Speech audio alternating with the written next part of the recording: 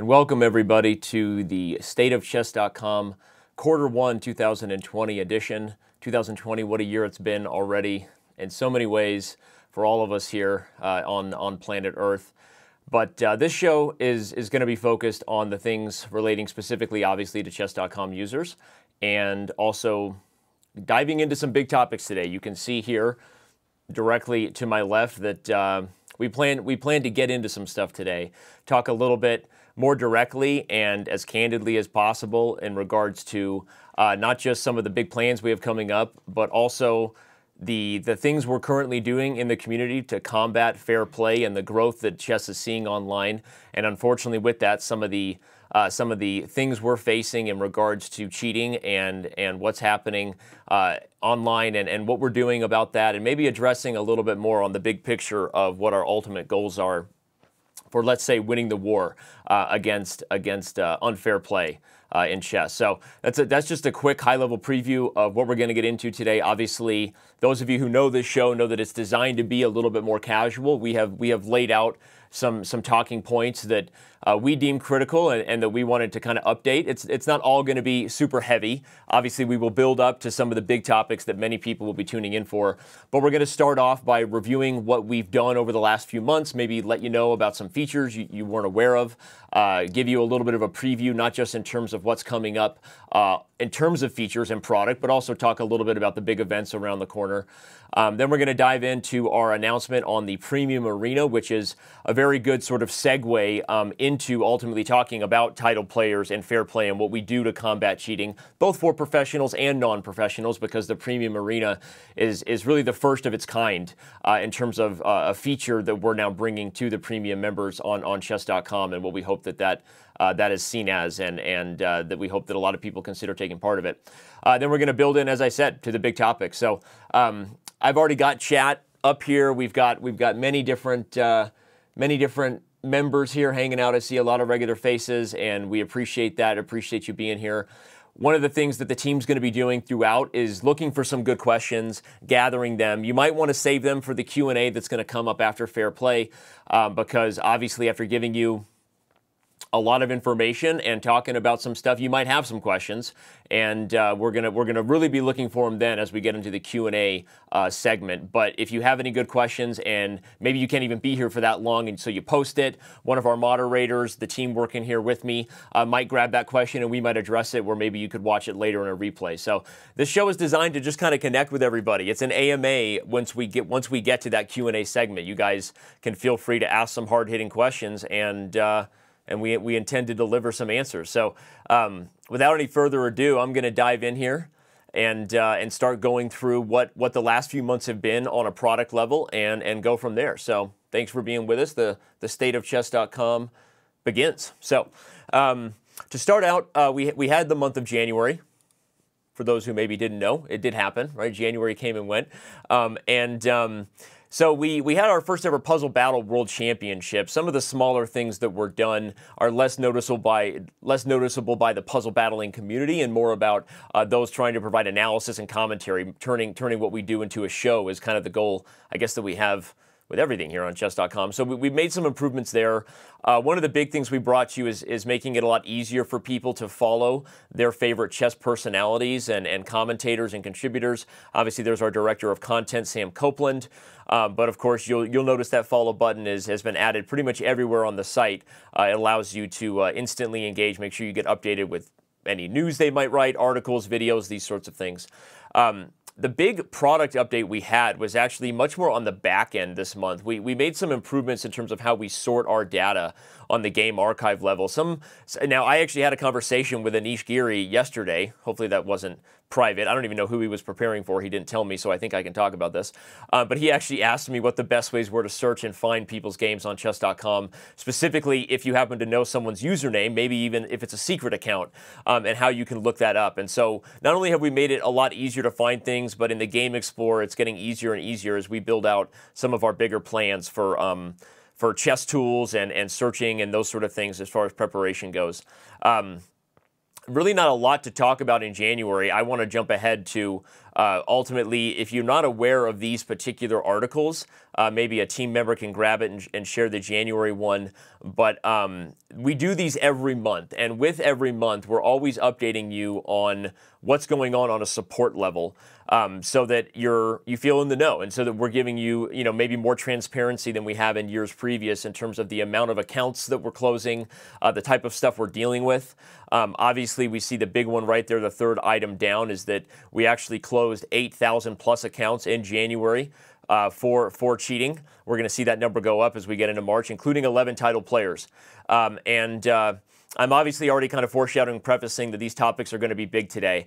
Uh, and so maybe you'll just start taking note of those numbers as we get into addressing how the title player community currently feels about this, some of the things that are being expressed uh, as far as concern, and some of the things we're doing about it. So um, let's let's just make note of that. And actually, I think we're going to head we're going to head into February um, pretty. Uh, pretty quickly here. Yeah, I'm. Uh, the only thing I do want to note about um, that I made a note in January about puzzle battles. We had the first World Championship, how big it got. But some of you may not be aware that actually puzzle battles are coming to iOS very, very soon. It's currently in beta. I played the other day um, on iOS for the first time. So Puzzle Rush kind of took the world by storm. A lot of people really like that feature. Um, and uh, Puzzle Battles has become where most of our puzzle masters, if you will, spend their time because it gets it makes it a match and they battle against other people. Um, and so it's it's coming to iOS very soon. And uh, maybe maybe I wasn't supposed to say that. I'm, I'm allowed to say that kind of stuff. Anyway, I usually get a long list of things I'm not allowed to say after the show from Eric, who's probably watching. Hey, buddy, how you doing? Uh, but Puzzle Battles coming to iOS, and it's and it's going to be pretty awesome. So there you go. Let, us stay on the lighthearted stuff and, and move on to February, um, which um, has been has been uh, gosh, seems like such a long time ago. Did anybody else feel like we've like lived a whole lifetime since the COVID pandemic? And we're, we're going to get into some of the stuff that we've been, you know, experiencing in the online chess community about that. But February, wow, long ago. Uh, one of the things I made a highlight of that I was most excited to see we're, we're kind of openly talking about now is uh, actually what we're working on right here. Um, I actually spent a little bit of time previewing that with some of my uh, title player brethren who play much, much better chess than I do online. Uh, guys like Aman Hambleton and Robert Hess, um, and showing them what we're building out as far as the new chessboard. We're completely rebuilding this tool from the ground up to be um, slicker, faster, cleaner and just I can't even describe that. I, I don't know that I get the best use out of it because I'm already not that fast. But it I, when this thing starts to hit um, beyond the beta community, I think people are going to be kind of blown away by the type of uh, playing experience that it's bringing. So um, just want to also say again, I'm, I'm, I'm going to be talking about product. Want everyone to know we see you're chatting. Please ask good questions if, if you really want to have a question reviewed. Of course, if people are here to troll and just have fun and be a part of the community, then thanks for being here. But if you're if you're here and you do have some questions, please go ahead and do it again. We are going to be looking into them and saving them. I'm not going to be responding to them exactly right now until we get into the Q&A. So, um, new chessboards are coming. One of the things that we did recently was uh, add the ability to customize not just your home. I talked about that actually in our last stateofchess.com. It was quarter four 2019.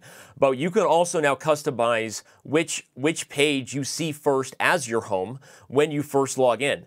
Uh, a lot of people really uh, like that, and maybe you're not aware of it. That some of you maybe really like the Chess Today, which is where we kind of the old index page we've had with news and videos, what latest and greatest stuff is happening in the worldwide chess community. Some of you want to go right to your home, especially because if that's where you kind of organize your chess day, you, you have your daily chess games, you have your, your stuff you want to get into, right? And some of you are like, I only log into chess.com to play Blitz and Bullet and get out of here. And those of you are probably not even watching this show, and that's great. So good luck to all of you out there sending positive vibes. But if that's your if that's your homepage of choice, then then good for you. Um, so another big one that uh, that I really like that we did. I've actually used this tool more than others. I'm a bit more of a power user, I guess. But a lot of people don't know that now the analysis tool you can actually load multiple games into a PGN rather than just one um, getting into more uh, hardcore functionality that people like to do when they're creating lists of games. You can actually, if you go to chess.com analysis now, maybe you don't know this, you can actually already start saving anything you do uh, and share it instantly, kind of creating a list of your own different games and reviews, things you've worked on, things you've studied. Um, and so you can actually upload in the masses now, and then what it'll do is it'll create a drop down uh, for you to then dive in if you want to study all the games from a particular tournament or anything like that. And any game you upload can be run through the game report tool, which gives you all those insights. A lot of people like that. So just fun little facts, little fact factoid update. Factoid, don't uh, don't strain it. Okay, and now we get back into uh, more of our more of our, our member support update, the quality and control update, we call it. Um, again, we see numbers starting to rise a little bit in terms of the title player closures that happened in, in February compared to January. If you remember, it was up from 11 to 15. But uh, buckle up because as we get into the later months here, it's you know these numbers are going to start to scare you. Hence the reason we're here. We would have done this show anyway, so relax. But one of the reasons we're here. Um, so um, we see we're just continuing to share some of the numbers we're doing there, and uh, then we get into March. Let's do it. Let's do it, shall we?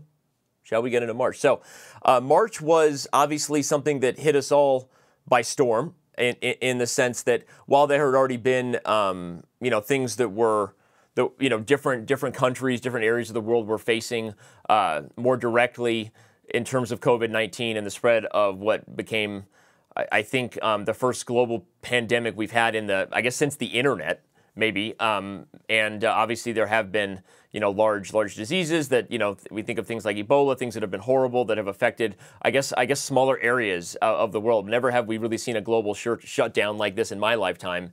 And so March, you know, March kind of came with a lot of changes for us in terms of our daily lives and real lives, and it and it also came with a lot of changes for us on chess.com. Um, you know, a big part of that was just exactly what you see here. And, you know, we were, were in some, we were in some ways kind of fortunate in the global chess community to see that while many others were maybe impacted a little bit more negatively in terms of uh, what they what they've been asked to do as, as people were asked to shelter in place and go in, indoors, a lot of that meant that people indoors were looking for things to do.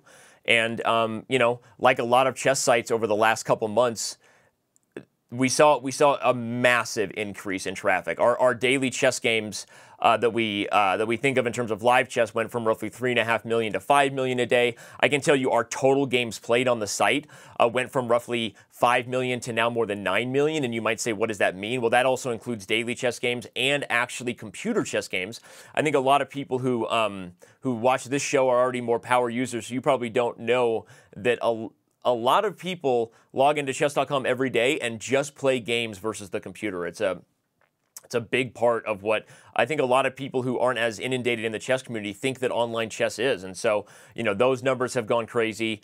Um, we've been doing everything we can to keep up and keep our servers up. And, and for any mistakes that have been made, we apologize. But overall, I think we've held up pretty well.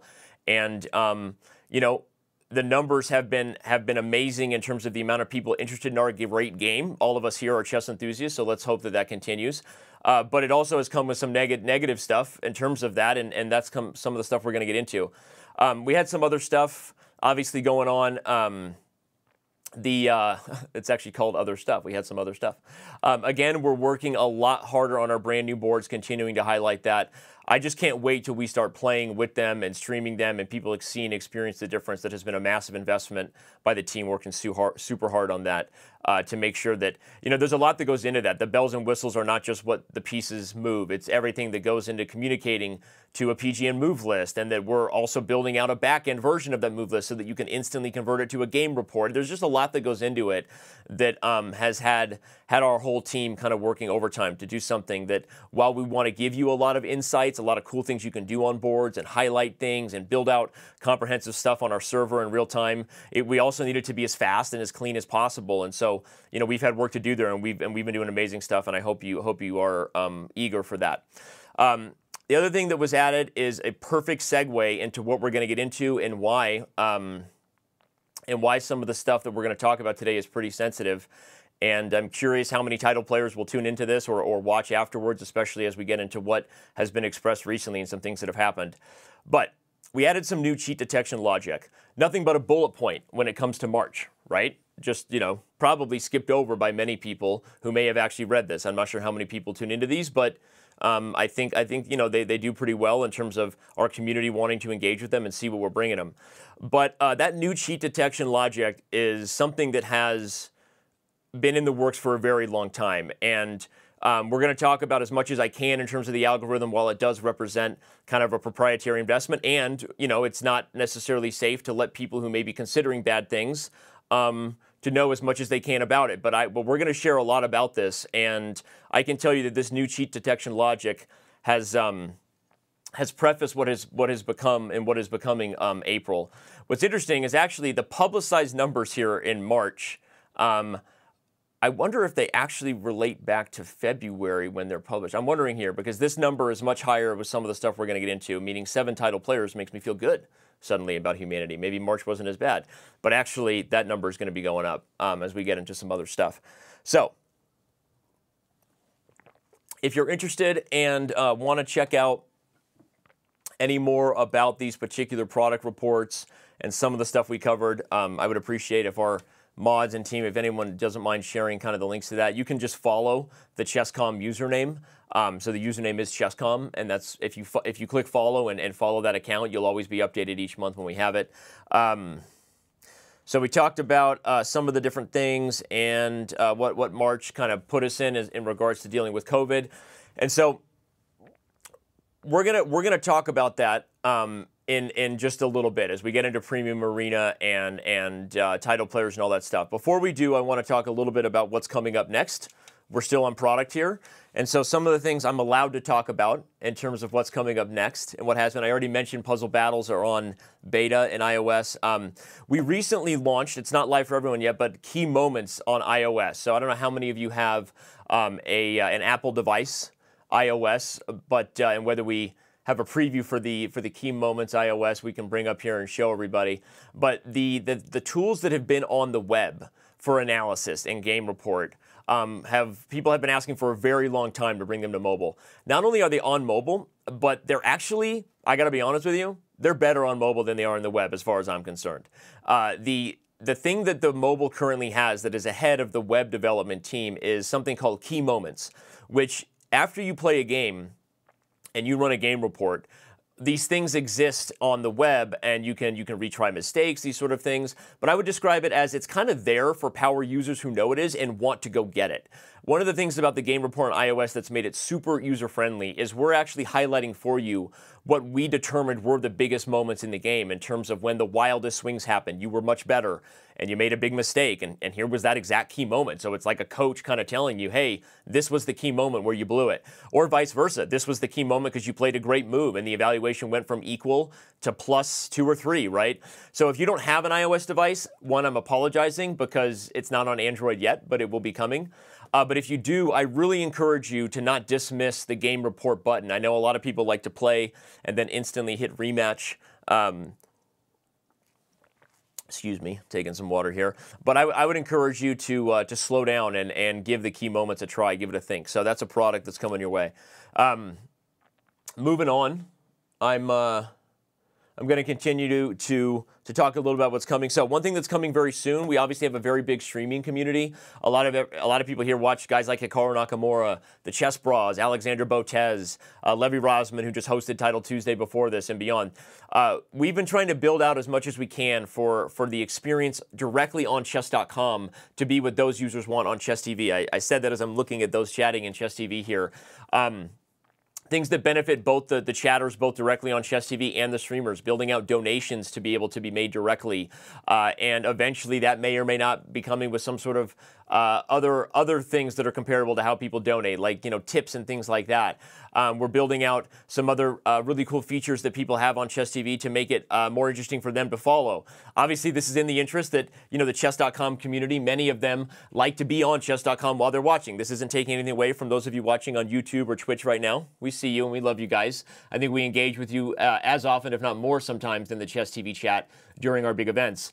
But there are a lot of people that have expressed like I want to be able to watch and do puzzles, and I wanted to be able to watch and do this, and they don't want to necessarily leave the chess.com experience, and that is our job to kind of serve them first, right? And so we're working on that, um, and we're pretty excited about where that's coming. So for those watching who are streamers and beyond, you'll you, will you will be wanting to take note of that.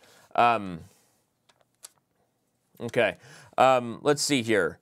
We uh, the other things that have been happening and have been going on a lot. We talked about new board play. Talked about a new versus computer that's coming that's very popular. Um, like we said, more than more than three minimum, sometimes more than four million games are played just versus the computer a day, which is again, I always find that shocking as someone who I think, like a lot of people watching, kind of just wants to play live chess against other human beings. But there are a lot of a lot of people that enjoy chess that don't want to do that, and the numbers, um, you know, speak to that for us. And so we're doing everything we can to make to make uh, more versus computer games. Um, even better. So gonna we're working on that. So next, getting into the things that are coming soon on the on the event side. So we talked about product. Um, the biggest news I think that has been out there in regards to what's coming up next has been the Online Nations Cup. Uh, the cooperation we have with FIDE has been honestly super exciting about this. This is this is going to be one of the most prestigious events we've ever held. I would I would argue we've had a lot of very prestigious events with the best players in the world, but it, but this is the first time we've ever done something like this with FIDE uh, to to have their sort of um, designation in an event that's a t- of a team nature like Pro Chess League. The only other time, obviously, last year we held the Fischer Random World Chess Championship, uh, the the final that was held in Oslo between Magnus Carlsen and our eventual uh, World Fischer Random Chess Champion in Wesley So. But this event is. Um, is going to be like nothing we've ever done in terms of a five-day event with with that big of a prize fund. Um, obviously, it's $180,000 over a very very short span, so you could argue maybe the richest online chess event we've ever held here uh, in terms of um, you know the the Fischer Random event took place over several months. And the lineup itself is obviously uh, pretty frightening if you happen to be someone who's worried about playing against China, or how about every other team, right? If you're if you weren't aware of this, this this event coming up is it's got our whole team's focus right now. We've got China, uh, we've got Team Europe, led by Maxime Vachier-Lagrave, Levon Aronian, and Anish Giri. Uh, Garry Kasparov is captaining Team Europe, and that's been, I think, one of the least talked about, maybe most exciting points. Everyone here is an absolute fan of Garry Kasparov right? I mean, I say right because you're talking about the 13th world champion, still in many people's eyes, the greatest chess player of all time. Um, and so for him to kind of get involved in such a prestigious event, and again, an event that, you know, the reason it, it kind of prefaces after us talking about March is that we could argue an event like this maybe doesn't happen uh, without the pandemic we're dealing with in terms of COVID 19. And um, again, it's not that's not a good thing, right? That the coronavirus happened, and obviously there's been so much impact that has been super negative, um, and and you know people getting sick and, and people dying, you know, around the world. Um, but as far as the as far as what the opportunity was there for the chess world to make sure we still offered those fans something to cheer for, something to root for, which people need during a time like this. This is the kind of event that probably doesn't happen without COVID, and and, and we're very excited to to see what it can become. Um, that team Russia, led by Jan Nepomniachtchi, who of course. Um, was leading the candidates before it was paused uh, for the uh, for the COVID nineteen pandemic, and then you get into Team USA, and you know I'm gonna I'm obviously to be commentating on this event along with some other uh, expert commentary, but uh, you know. It's not my job to be rooting for for Team USA, but certainly those are some faces and friends of mine and people that I grew up with and have known, so it's hard not to. You've got Captain John Donaldson, who has very, very often captained our Olympiad team uh, in the over the board chess Olympics, if you will. And so uh, this is going to be pretty exciting to see what the big three, as we call them, right, that the Fabi, Hikaru, Wesley So uh, team does in terms of uh, leading Team USA.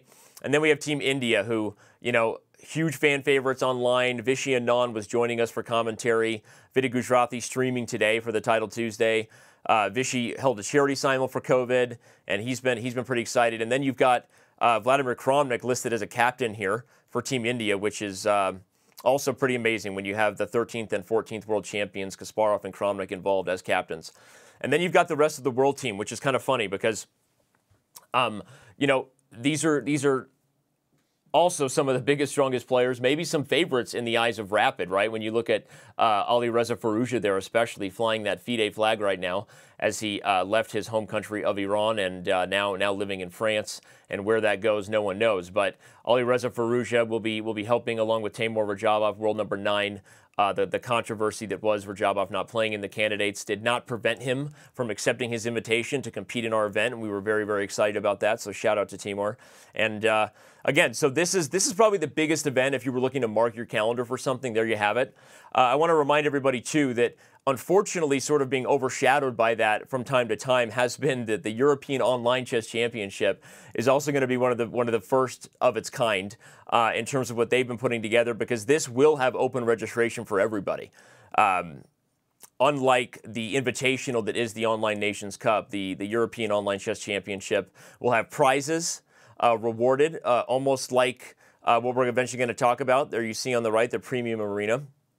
You can register for the European chess. Uh, the, the, European Online Chess Championship, and if you didn't know that was coming up, you should consider giving this giving this link a, uh, a read and and consider registering. The full schedule can be found there. Uh, th- this is the first major event like this we've done that has a paid entry for members online organized by a third party. Chess.com isn't necessarily uh, by its nature in the paid entry business, and we're going to talk about that as we talk about Premium Arena. But when, when third party partners have approached us, uh, like the organizing group from Norway and, and FIDE, uh, the Fischer Random World Chess Championship, and here the European Online Chess Championship, you know, we do have a platform and we're very interested in giving them the opportunity to see what kind of members they can get involved playing in their events like this. So um, consider, consider uh, signing up and getting involved in that and, uh, and give it a try. So, Last but not least, I'm going to just preview that we have the Premium Arena coming up here. Uh, what we're going to dive into after the break is what exactly inspired us to do this event what exactly are our goals behind this event? How do we view it? And also, maybe some of you just didn't know that this was happening, and that if you are a premium member on chess.com, you, for the first time ever, without any paid entry, this is not requiring an extra paid entry, uh, like Fischer Random World Championship, like the European uh, Online Chess Championship. This is basically a perk of, of the premium membership, and we're going to talk about that and everything that's coming up with it um, after we take a pretty short break. And right after that, we're going to dive into the more sensitive topics. So for those of you that are that are with us here, uh, we've got we've got uh, a lot of you. I, I, I, don't I haven't really been following too much. Shout out to the team who's working to help make sure that we're, we're staying in touch with questions coming in. Uh, don't go anywhere. When we come back, we're going to talk about the premium arena, and from there dive into uh, some of the biggest topics of the day discussing title players, uh, their current, their state. Uh, we listed as a topic because what's going on with them right now during COVID 19, and what exactly are we doing to provide opportunities for title players and make sure that uh, everything is also kept fair and safe and clean uh, here online. So, thank you for being here. Don't go anywhere. The stateofchess.com quarter one edition for 2020 continues after a very short break.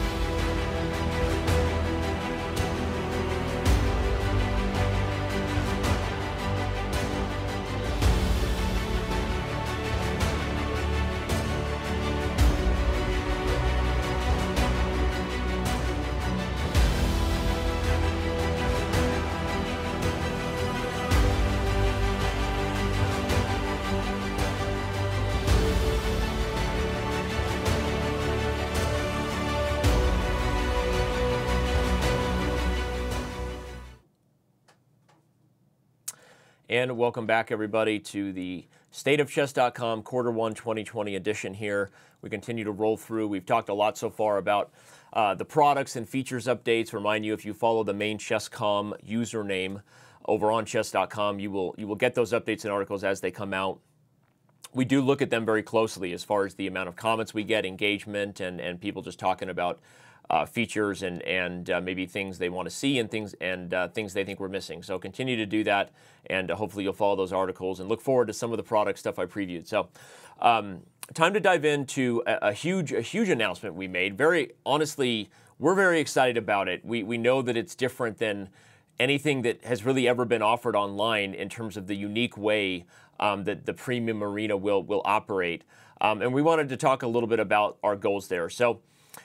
First of all, we've we've considered ways to give benefits to premium members in terms of play for a long time. And what I mean by that is if, if you talk about the chess.com model, why are we here? What are we doing, right? And so obviously people play online for free and, and people love to play chess, and that's what most of our members do.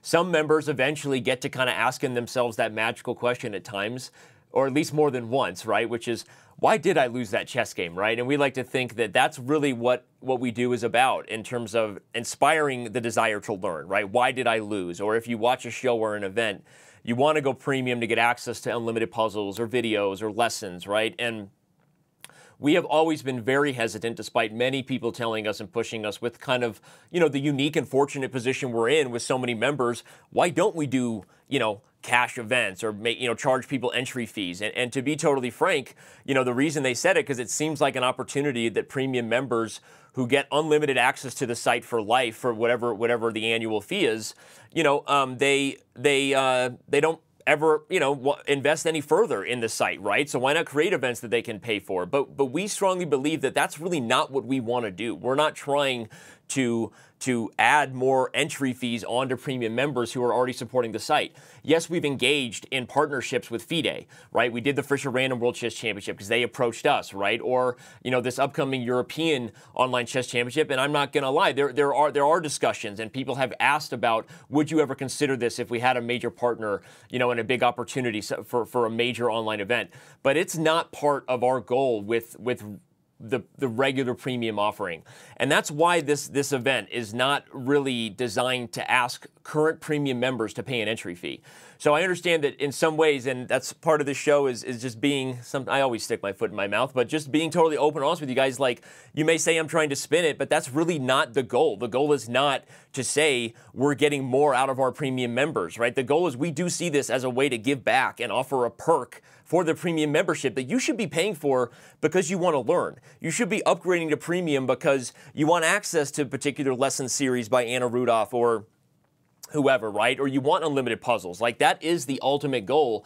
And we're not asking current premium members that have been forever to pay anything for this, right? So yes, you do need to be a premium member to play. And for those who are not premium members, uh, you know that is a requirement, right? But this is not a pay-to-play event. This is, if it was, it would be something we asked all premium members to pay for. We do see this as something we're doing to give back to the current premium membership base, and with that, we believe if someone upgrades maybe if they did get inspired temporarily to upgrade for this event that the only reason they're going to keep their membership is not because they're winning hundreds of dollars in this event. I just I don't think that that's going to happen because the only way it might happen at lower levels is with cheating. And we're going to catch you if you cheat, so don't do it, right? So our goal is that the premium membership is there to inspire people when they know that they want to get better. And this is a perk, an additional perk that we've never offered before to to allow premium members the opportunity to win cash. And, and that is the way we see it. And we also see it as something for title players. I want to bring up our prizes and talk a little bit about the specifics of our prizes. I can I can scroll through here and, and we can we can bring it up in full view. There we go, right there, and, and just talk about the other thing that it does is it does help bring back something that we know the community's been asking for really since Pro Chess League took over in January, right? Last year, we launched an event like no other, the Arena Kings. And if you look at that premium arena logo, you'll actually see it almost looks like an Arena Kings logo kind of morphed, right? And, and our goal with this was look, we've always wanted to do an event that was about giving back to premium members to add this sort of premium perk. Right now during the, the, the pandemic of covid-19 we are experiencing record traffic and if there were ever an opportunity to do it now is a time. So that's one of the reasons we finally pushed this idea forward. Again, it is not pay to play. It's not something we're asking premium members to pay for on top of it. It's an additional feature that you have an opportunity to take advantage of. Maybe you have a good day and win that under 1200 section. You know, um, and let's bring back our prizes in full view to, to talk specifically about that. Again, you can win an under 1200 section and under 1000 section. And you're going to be competing mostly against people in your rating because for people who know how our, our arena algorithm works, you know, when we first launched it, a lot of people felt like I actually don't like this. Like, you know, we, you know, arenas that have existed on ChessCube before or Lichess before were like, hey, uh, you know, just whoever's at the top of the standings should play. Well, the problem is then toward the end, you might get a lot of Hikaru Nakamura versus a 1200 which is not something that maybe the fans want to see or even that Hikaru wants, really, right? And maybe the 1200 wants one opportunity to play Hikaru, but I don't think a 1200 wants to lose to Hikaru 50 times in a row, if you ask me. And so, one of the things that when we structured our arena, I always described it as it was more of a Mario Kart idea. We have an algorithm that is designed to weight player strength before it weights current standings. So, the first choice when it pairs you based on who's available is to look for somebody who's within your rating class. So if you if you take a step back and look at this event, you're talking about an opportunity to compete mostly against players within your prize group for some cash that just comes as a perk for already being a premium member. And and in addition to that, as I mentioned, Arena Kings, you see that with streaming, people have an opportunity to win even more. So for those who have been already playing Arena Kings, these are actually larger prizes than they were getting in Arena Kings, right? You had Hikaru Nakamura and, you know, Alireza and Georg Meier and Jan Ludwig, I, I, go down the list of title players that were regularly streaming to win cash in Arena Kings.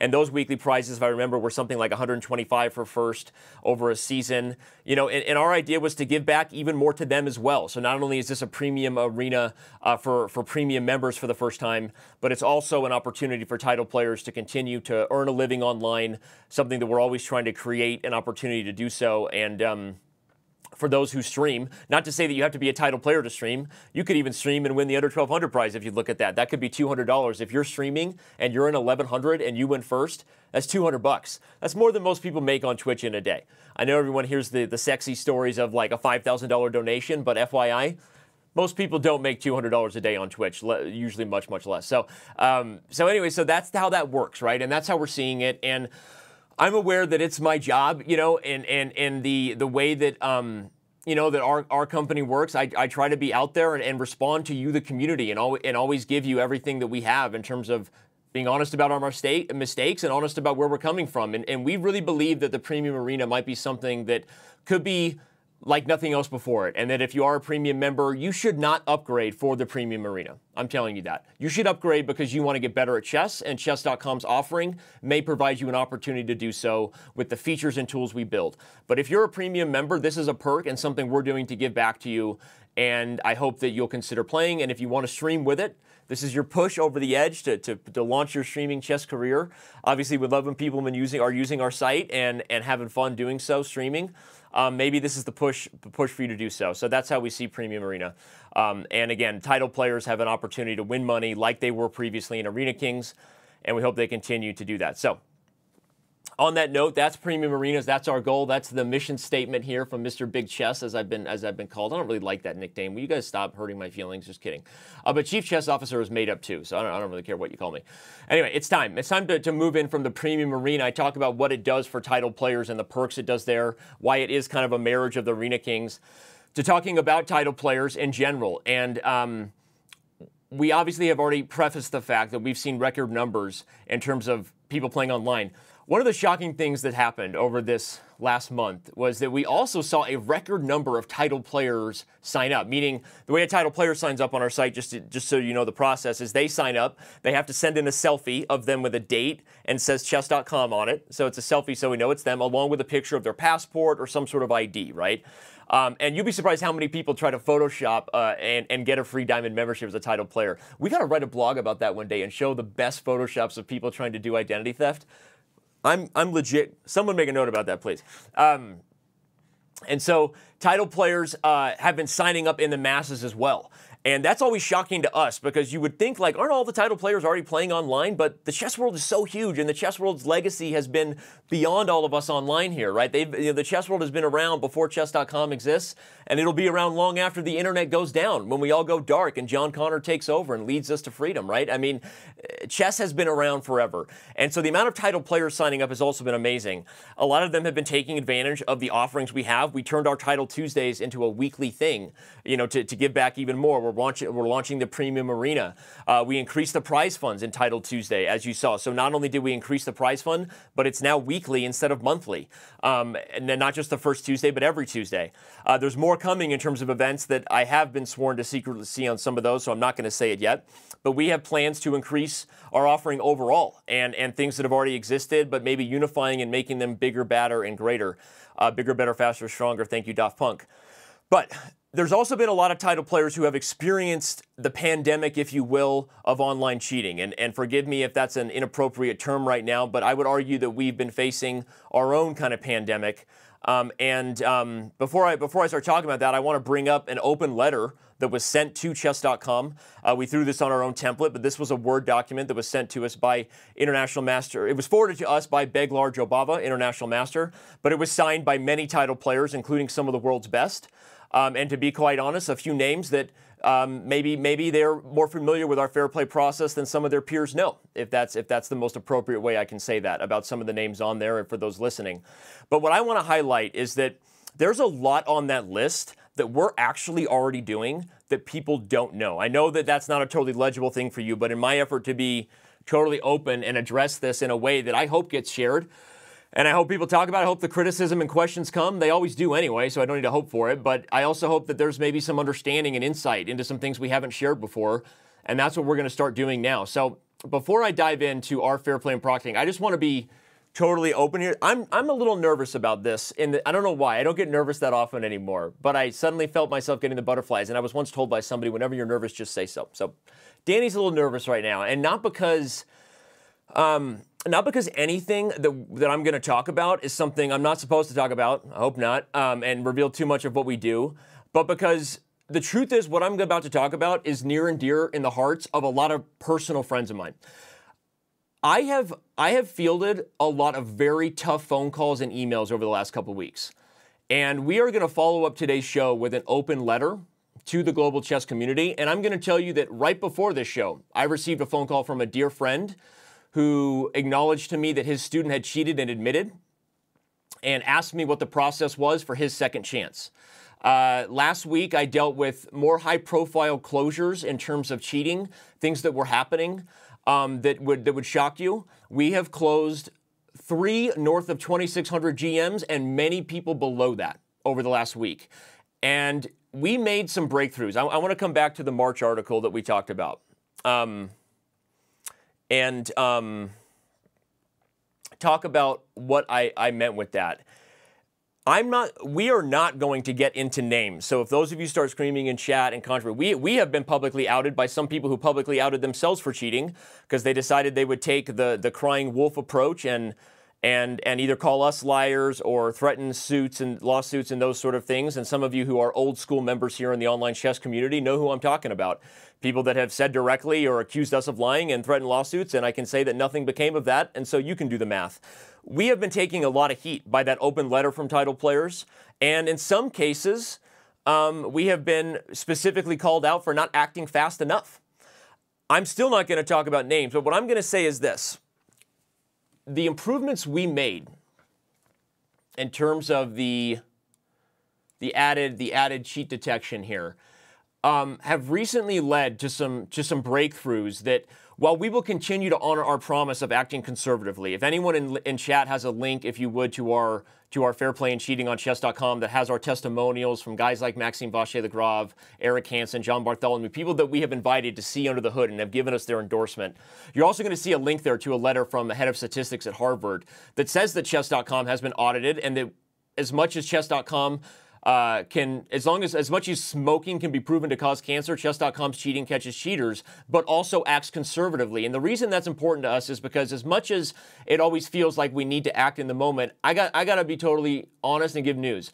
I have zero interest in defaming or destroying the reputation of any title player or human being on the planet. And our, our policies operate in that we may be sometimes criticized for acting too slowly. I'm aware that our company might lose many PR battles along the way of being seen as acting too slow, but you will know that when we pull the trigger, not only are we ready to go to court, but also we're not we're not looking back. Despite threats and things that have come our way, you can also be sure that we're going to continue to to win the war while losing many battles in the sense that we're not going to stop investing in creating opportunities for professionals online. We're if anything we're increasing it. And, and, we're not doing it in, in one off kind of splash big prize funds. We're doing it every week and giving every title player an opportunity to do something, not just with streaming, not just with Title Tuesdays, but with other Grand Prix series we have coming. Again, I, I won't say more, Nick, don't worry. But I'm getting into it because this isn't about me defending against open letter. This is about what I want to start diving into. I'm going to tell you as specifically as I can what it is that we do. Is that this is a very difficult topic because when you close a young, talented, you know, person of any country who may actually be a very strong player, but have maybe have given in to water cooler talk and people saying, "Don't worry, chess.com can't catch you anyway," they were wrong. When you when you close a title player who even if we want to morally judge why they did it might literally be fighting to feed his family because of what's happening with COVID-19 or because of other lack of opportunities. It's not right and we do act but we also don't judge and create a second chance opportunity with with with suspensions required for prize events and things like that because of that when you when you close anybody, even if they're just a, a regular member without a reputation in the chess community, you don't know what anybody's dealing with. They're demons in their life, right? Be kind because you, you can't rewind. My mom always used to say that. And the point is, be kind because you don't know what other people are dealing with. And that is the policy we operate. So people who want to judge, usually behind an anonymous veil, that we're doing a wrong thing, I want you to know we're doing the right thing. And we're acting and we're closing people for, for, for, for violations. And when we do, it's not easy for anybody. And sometimes it leads to the kind of heartfelt conversations that are very difficult to deal with between a parent talking about a child who came clean, or, like I said, a friend of mine uh, with a student, or a fellow title player. And so, what is it? So that's so I've gotten my nerves out of the way. I want you to know, like, this is a very sensitive issue, but we're not dumb to it. And and with some of the algorithms we've broken through with recently, we are about to close more title players than we ever have before and we every everybody gets a review, and so that's some of the process we're getting into. But I want to describe to everybody before we invite the invite the option that we're going to at the end of the show to understand a little more about what we do. So here are some of the things that people who have signed our NDA and taken that course, guys like John Bartholomew and others, and, and people that know what we do, they know even more than the high level points I'm going to give you, but I, I'm going to describe as best I can. So Chess.com's fair play process. What is it that we do? So, our team of fair play professionals, we use statistical methods. And the reason I want to emphasize that first is to always remind you that no matter what it looks like, we are never reacting to a mob mentality. We are acting with DNA evidence in terms of the blueprint of the game so that we could stand behind this legally. In March, we we reviewed more than 90 million. That's actually that's actually getting into the record levels of how many games and the fair play team has been working overtime. Um, to date in March, including some that we received, we have received more than 300 written confessions from title players, including grandmasters, including grandmasters north of 2,600. And I won't get into more specifics than that. So, despite the public outcries you might hear, despite people being frustrated at times uh, that we acted too slowly, despite even the very, very few cases, and again, always in total transparency on stateofchess.com, and one that was on Reddit recently. I would argue that the fact that we were able to acknowledge that we were wrong about a specific case speaks more highly to the fact that you should trust us when we hold to our guns and don't reopen somebody. If anything, acknowledging the very, very few times we've been wrong over the last nine, ten years might speak more truthfully and highlight to the fact that we are ultimately still humble. We don't claim to be perfect, we just claim to be doing our best and if we mess up and a proper review is given, you will be given a chance at a second chance and you will be reopened. Hopefully, that speaks more truthfully to the fact of what you can discern. The same manual review and appeal process is given to anybody who challenges us. And if we don't reopen them, what does that say? Um, and then, and coming back there to our training processes um, on the. Um, on our fair play bullet points there, let's bring that up for everybody again. Our training process is that not only are we working within within the internal group that we have um, that uh, that works on this stuff, but we also are working with top agencies. So I, I jumped ahead a little bit um, to talk about the internal training process we have for the current team. So the current team recently expanded is of nine full time team members. I'm only listing the full time team members. I am not listing part time. Um, maybe overseas who we're not allowed to call full time, maybe maybe you know salary. It just I'm listing full time people who work to improve algorithms around the clock to protect the experience of our members on chess.com and two title players who are who are full-time manual review experts and then many others that contribute including yourself uh, yourself yeah you, you, you can know yours truly uh, and grandmaster robert hess uh, as far as people that are in the inner circle of knowing and, and reviewing this stuff and have been improving our own review of not just looking at what the data, what the DNA is telling us, and what the actual chess is telling us uh, for years during events, and this is this is back to the open letter that was said, and now I'm getting into it. The open letter addressed pretty directly some suggestions. What it doesn't know is that we're actually already doing the majority of that. The open letter even acknowledges, and I'm speaking to the title players who signed it, that within a reasonable view of what's possible to put people on camera. The open letter acknowledged in a Title Tuesday with more than a thousand people, how could we reasonably be expected to put everybody on camera? One, that would hardly be fair to them. A lot of people have slow internet, right? Um, and if, you know, there's you know, no reason. I mean, it should be random. It shouldn't just be we pluck people to put them on camera, right? That would be profiling. And um, but we do work with people not only in terms of getting them on camera, requiring a view of their room, asking about their device, asking if they're alone. Also, we get screen share in cases. And I'm going to say that there have been cases where people were asked to do this and they immediately quit. Without naming names, you should know that as a title player community.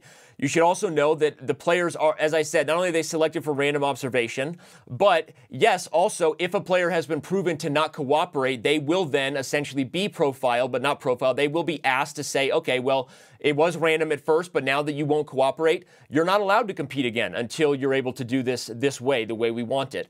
So a lot of people don't know we are doing that. Um, in addition to the to the very strong grandmasters and title players we've been closing over the last month. Um, and we're, we're working all the time, not just with top agencies, but with audits. We talked about the, the written letter we have from a, uh, uh, head of statistics at Harvard, but we have others. And, and we have been audited, and we are continuing to get training. Uh, we're, we're taking notes from what other esports industries do in terms of how they proctor people. There is literally almost nothing that gets more of an investment and is leading to breakthroughs all the time than you know, as far as a back end tool, right? Yes, we're working on a new board, and there's a lot of developers on that, and we, we invest in things you can see that are public facing. But it, it is beyond, to say, a very serious um, focus for us. Um, and so the one of the reasons we're able to do what we do, and this is going to be the last thing I'm going to leave you with before we take a break and hopefully get into some of your questions. Why why do we claim to be doing um, as good of a job as we? I, I, again, I don't want to say we're claiming to be doing a good job or the best job. I, I think we're doing a, a, great job within the means and investment that we can measure, and I think we can always do better. Um, but the, the main thing we're doing is trying to prepare to, to not just deal with individual cases, but our goal and our investment is to say the biggest pie in the sky thing is to eventually kind of end cheating at least in terms of title player events, a new person coming along who cheats one time, or people who, you know, get given to temptation randomly. We, we obviously close accounts in that realm of the thousands every month, right? But we do believe that there is a potential future where, in the process of us losing some PR battles and, and doing, th- but doing things privately and conservatively, not in the open public way that some people would love to do uh, and, scream cry, crying wolf. The truth is, over time, less and less cheaters will be playing in our events because those who have tried to slander us and threaten suits but then not, they're not playing anymore. People that won't admit they're not playing anymore in our events. And people that did had to serve, in some cases, multi year bans before they were given a second chance and then are forever proctored even, clo- even more closely as they should be. Um, and we do not operate in a third chance opportunity. We operate in a second chance opportunity, and the third time is a ban for life. And does that mean that that um, we're going to start publicly saying names to scare other people. I don't believe in that form of capital punishment because I don't believe it's right to slander or defame a particular individual in order to make a point to others. But I will say we do believe that over time, as as people start to know things and know and know who and is not involved in the things, is that we can play a capital punishment game that people will be more scared. And part of my goal of this and telling my personal stories that I said made me nervous about you know, the, the, the, the, friends and the kids and the other title players is to hopefully address this head on and let people know that if you are told that we're not catching cheaters, you're wrong. And I'm asking you to not do it. And you should know that again, you're right that everyone is right, that we might act conservatively in a way that gets people frustrated on an individual event level. But we're not going to stop creating opportunities and events for those players who are frustrated. They can rest assured in that. And the moment we have enough to close, it will be closed and they will not come back without the promise that they'll be clean to you forevermore and never have a second chance again if they go if they if they cheat again or they won't be playing on the site. And our hope is that rumors do spread just privately in the sense that don't don't do it, right? It's wrong. And again, no, no, matter the level, the auto ban features that we made, that was part of the cheat detection logic. I guess I forgot to say that. Uh, Gerard, head of cheat detection, wanted me to do that in the sense that we are now closing. We had one of the algorithmic breakthroughs is we've been able to start closing with certainty. People might say, like, when you say you're now closing a thousand more accounts every week, aren't you saying, Danny, that, that was a thousand cheaters that you weren't getting to a week before? I am kind of saying that, but we're also getting 40,000 new accounts a day, sometimes repeat. And you can read the, what I'm saying the other way and saying we weren't closing those accounts because we weren't sure. That means the algorithm breakthroughs we have have made have now now we're closing a thousand more that we'd be ready to go to court over, and that hopefully inspires a little bit of confidence. So again. Um, I'm here to both acknowledge the mistakes that we have been conservative at times, and cheaters have gotten away with it for longer than I would have liked. I said it, and it's true. We have also openly acknowledged at times where we've made mistakes and let them back. I hope you see that as a testament to the integrity of what we're doing and that we're willing to be wrong despite the rumors and not a testament that we're that we're doing this the wrong way. If you consider how many of them are being closed, given reviewed and not being given a chance back. And then also, we're not going to stop investing in the prizes that we are. And the open letter you sent title players has been received. And everybody who's considering playing in the premium arena, you should know that it's even easier for us to catch cheaters who are not, by definition, having dedicated their life to the game and they're supposed to match up with engines. Is that my way of scaring you? You're darn right it is. Please don't cheat. We're going to catch you and we're going to catch you faster than you think, and you're going to lose out on the legal rights to have your account, which you agreed to when you signed up. So we're saying all this in the in the essence to say we love you. We do this. We're very fortunate to be where we are, to have the domain name we do, to have the model we do, to have the team we have, frankly, the people we have, the love in our investing in what we are.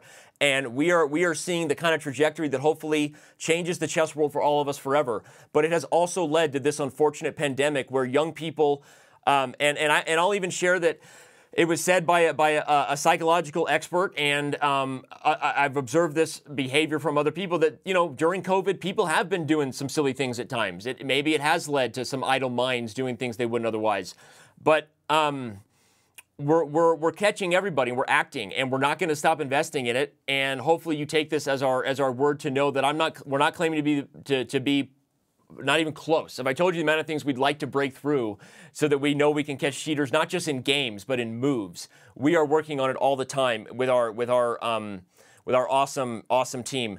But we're also not going to stop in the process of investing along the way, even when we know sometimes we act more conservatively than you would like. But at least you can know when we do close, we're not going to look back and we have your back.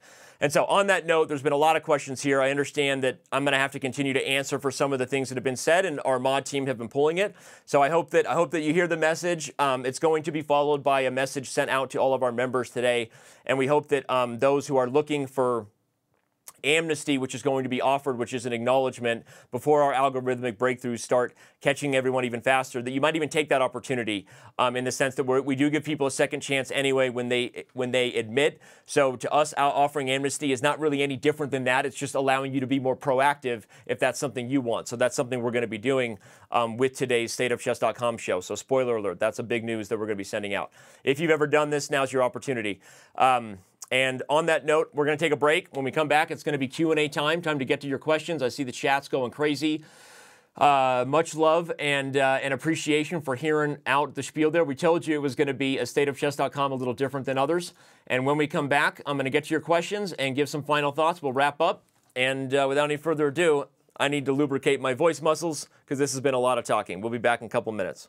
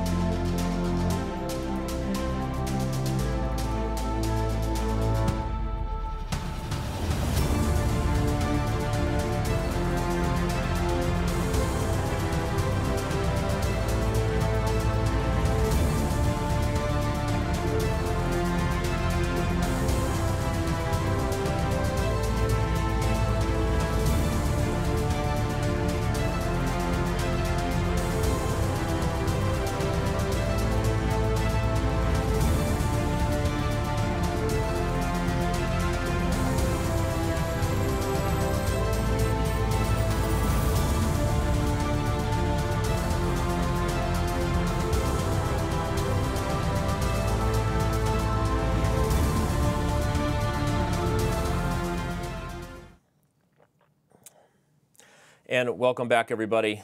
The stateofchess.com quarter one of the year 2020. Can we just give 2020 back? Anybody else into that?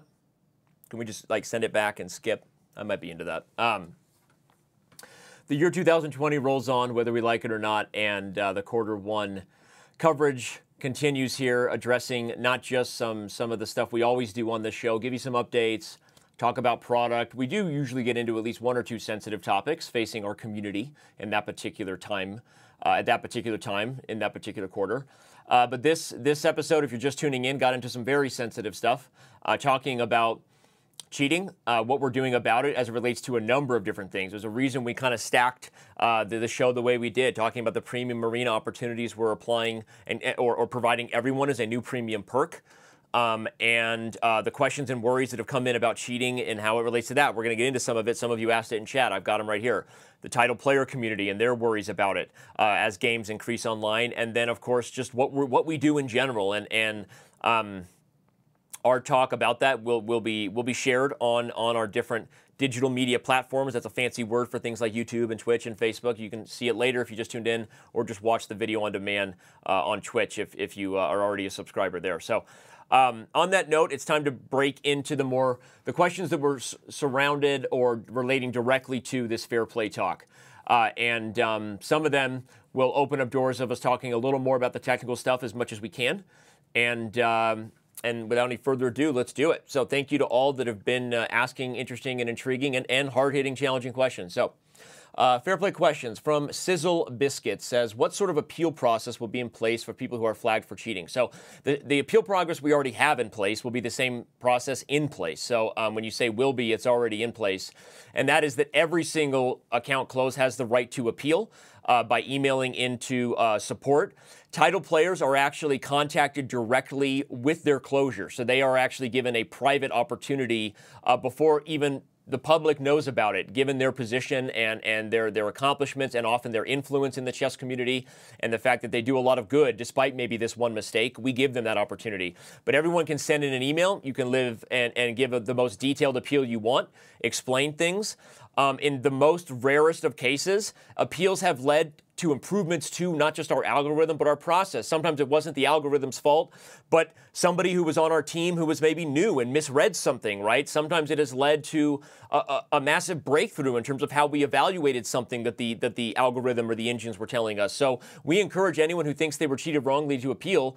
Also know that a lot of appeals get declined. The first response is then to give us a, an explicitive proverbial uh, middle you know what. And then often after a couple months later, they come back and say, you know what, you were right. I was angry. I'm sorry. Um, we've had some really interesting cases, people saying things like, I, I don't cheat on my wife, I don't cheat on my taxes, and I certainly don't cheat at chess. That person admitted to cheating a few months later, and um, so maybe he needs to have some tougher discussions in his life. Okay, we move on. Ross Wes asks, can I ask about sandbagging? I'm really glad you brought this up. Not just sandbagging in terms of the accounts, but a lot of people are commenting right now. I saw Gotham Chess. I'm not sure if it was related to premium arenas. I, we have another question coming up by, uh, let's see, member GTG Pro 2018 wants to talk about how sandbagging will be determined in premium arenas. So we're already doing that all the time. And obviously, it's not the most common form you think of cheating. Usually, it's engine cheating in terms of the masses that we close. Um, but we do also close people for sandbagging. It happens sometimes friend on friend action where they try to sandbag with each other. Uh, it does happen sometimes for non cash prizes, but you know our members are holding events all the time. You guys are an awesome community. You're holding your own club championships, your own daily chess events, your own live chess club championships, and we try to empower you to do that. And sometimes people cheat in your event for no reason. They just did, right? And you're upset about it, or your or your community members are in your club, and we get reports about that and we act on it, right? Uh, I would say the amount of auto detections we have for sandbagging is obviously less because the much greater part of our investment goes into the statistical um, measurements and you know the thresholds and algorithms that we're trying to establish with catching the most sophisticated forms of cheating, frankly, the more important ones. But we do act on sandbagging, and I'll say this: if anyone is caught having sandbagged over this last month, anybody put it this way if you win a prize in a premium arena you can know that you are going to be under massive scrutiny and no one will actually get that cash out prize until we have reviewed their games in great detail not just the history of their account but everything about them. So if you plan on winning a cash prize and you're not a clean playing premium member, good standing member of our community, you're probably not going to get that cash prize, and instead you'll probably just expose yourself to some things that you were doing uh, in, in in a shady way. So to answer your question, think about it this way: not only can I make this promise to you, people have asked that. Of course, I can make this promise because we're not going to start paying people cash who are gaming you and us. So there's only a few cash prizes each week. Don't game the system because you're going to be caught. Um, let alone even if you come close to winning, we'll probably catch you. So yeah, of course we are. For the premium arena, how do you plan to prevent people? Okay, this is the same sort of thing. Um, we're already monitoring it. We're monitoring. Um, the fact that once people play in this premium arena, we will be doing a check of what their rating has been for the last month. So if someone has gone from 1600 to 1100 in the last month, maybe we don't know it about right now. You're right. But we're going to know when he plays in the premium arena. And that might not be something that allows him to win a prize, he or she. Um, does cheat detection happen for all rated games from Chess Society? Someone asked a similar question, which is do we actually check all, let's say, 5 million games played versus uh, human beings every day? I would say we don't necessarily check the versus computer games because by definition it's versus computer. But um, and, and, if you decide you want to do that, you're kind of cheating yourself. It's there for your training. But do we check all five million games every day? Within the best of our ability, I can say that that's one of the major investments of the tech. Right, the tech is about you know, it takes T1 analysis that everyone's, you know, self-proclaimed cheat experts are doing on Reddit and everywhere else. Some of them are very good. I'm not trying to make fun, but you know, it take. I would argue our algorithm goes way beyond that. That's where a lot of the investment goes. But also the investment goes into how do we improve and catch people that are blatantly cheating faster, quicker, better, stronger. We're doing that all the time. Um, we are. I mean, I guess our monthly reports say how many games we're reviewing in a month. So let's see. If we review 94 million in March uh, for uh, for fair play, clearly, um, okay, what's uh, 5 million times 30? That's 150 million, if I'm doing my math right. So clearly, we did not review every game. I, I cannot claim that, but we are reviewing a lot of them, and then uh, we continue to review games, especially as they relate to tournaments and sensitive events, um, all the time. So that's that's the best way I can answer that. Um, Four Pants says. The cheat detection system. Do we contact other websites? Because some of my opponents have used other websites at the same time. I, I, can't say exactly how well we can track because that would be revealing some of the cool stuff we can do under the hood. We can track very much what's going on on other sites and whether someone is using other sites at any time um, with a separate device or mid-game on the same device, whatever. We can do we can do that, and we do do that. We do not share uh, what our our algorithm does with us. It is not like an open source collaboration. We've talked about it a lot. I, I, I don't know that ultimately that's not in chess.com's future. Um, I can tell you that both Erik and I, the, the current leadership, if if we are still the leaders at chess.com in five years, we hope to be.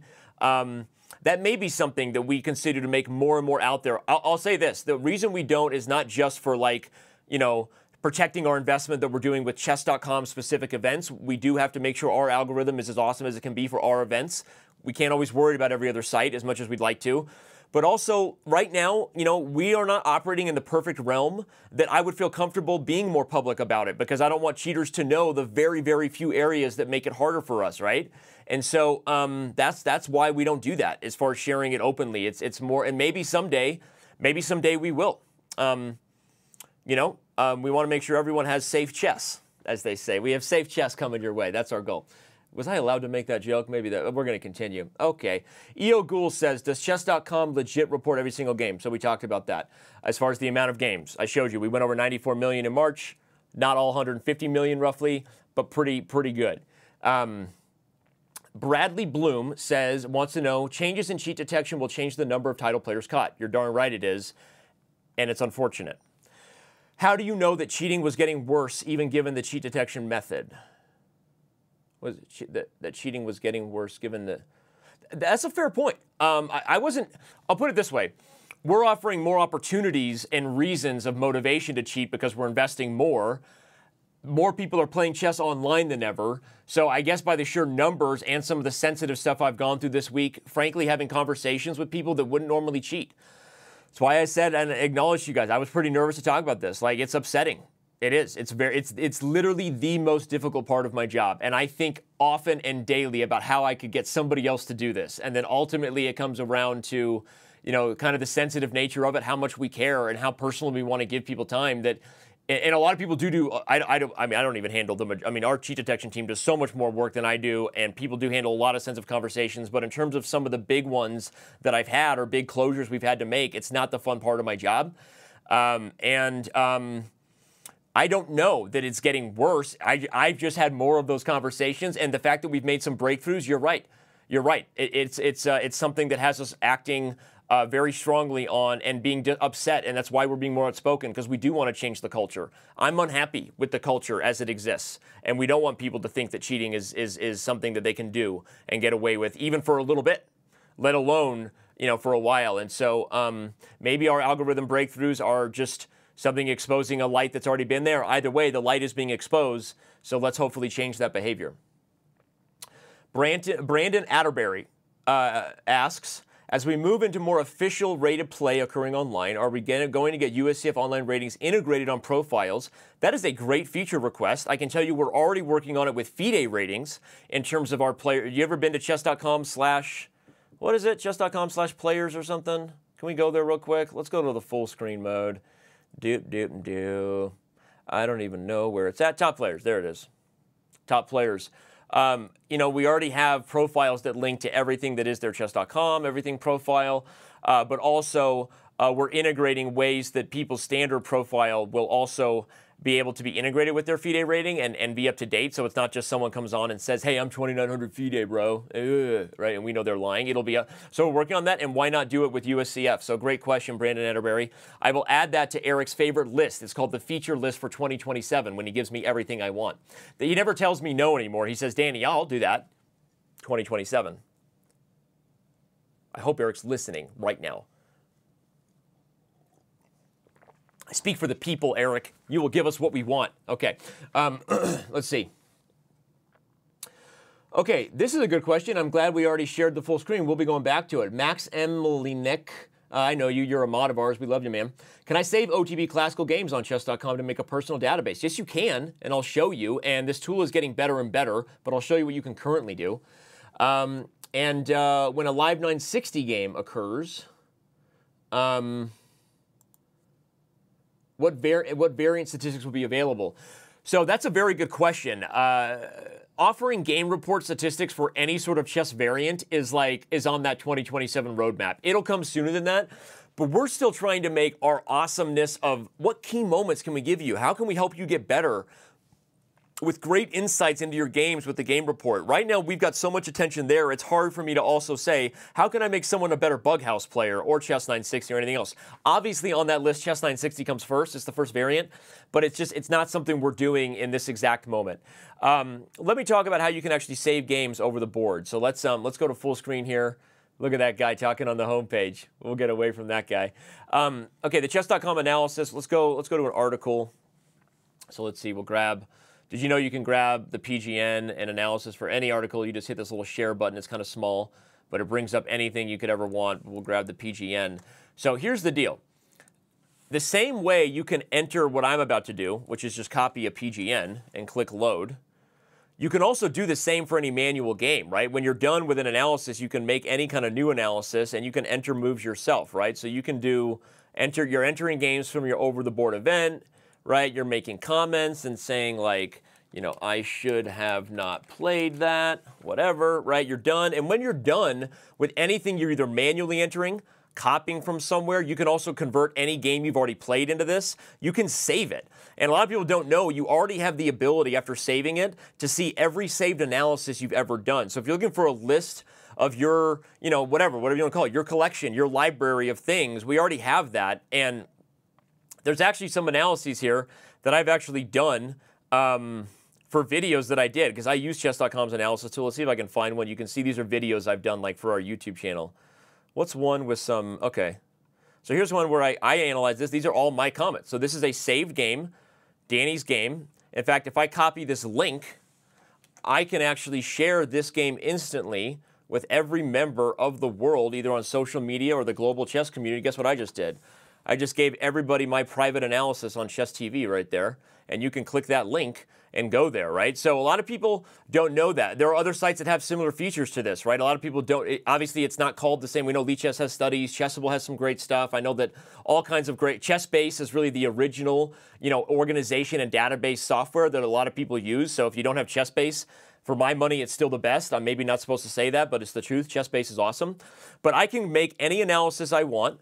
I can do whatever I want. I can make any comments I want. I can then save that analysis and then always have it in my saved analysis folder. And we're only going to continue to work on this and make it even more awesome for you. So if you didn't know that, you can, here's something that's cool. Look at this. I can go to my archive. Where's my archive? Oh, yeah, it's under played. Okay, I go to my archive. Let's see. I played a horrible game. This oh, I actually was more accurate than this guy. It does my game report here. I click game report. So I've got this game report. I, I got my own analysis. I want to analyze like bishop c4 was dumb. Like like Danny, like Danny, you're dumb. Danny, you are dumb, bro. Right? And then I click update, right? Once I update, I'm saving that analysis. Guess where it's saved? Now do I not only have a link, but if I if it's saved, you know, and I can do whatever else I want, right? Make new variations. And whenever I update and save it, it'll be in my saved analysis right there at the top. Guess what I can also do to that?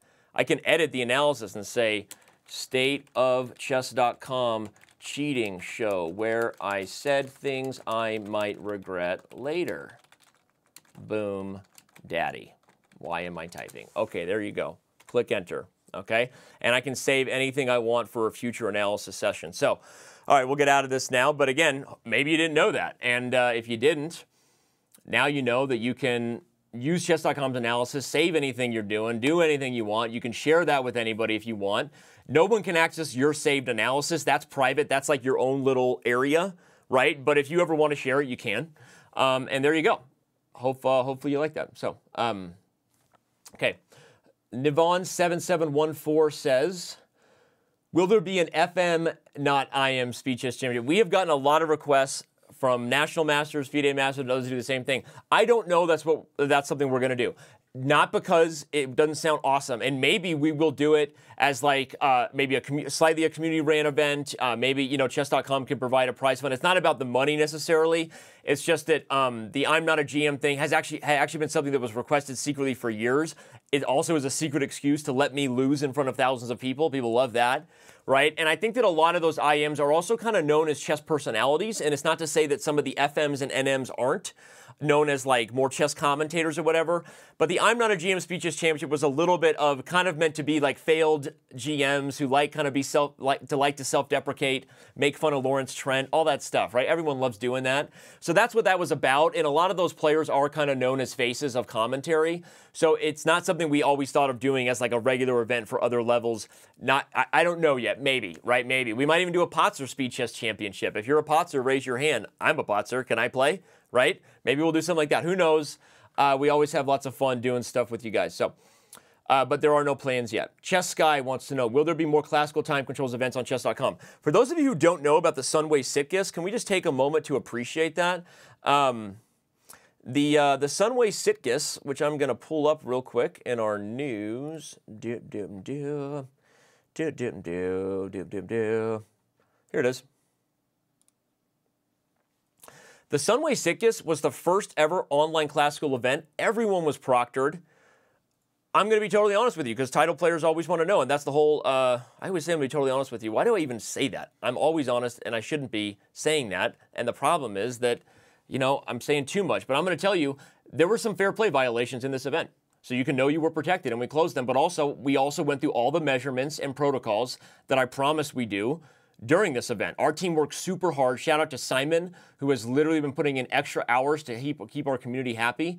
Um, this event had everyone on Zoom. It was the first ever classical event held with like prizes and things that matter. It was kind of it was kind of groundbreaking. It wasn't FIDE classical rated. FIDE wouldn't, you know, go for that at this point in time, I don't think. It wasn't USF, but it was a classical event on chess.com, and it was kind of a big deal. And it's still going, I think. I think. Um, anyway. So that's that. Um, Chess in black and white. When will there be lessons aimed at 1,800 to 2,000 players? Great question. We are working on it.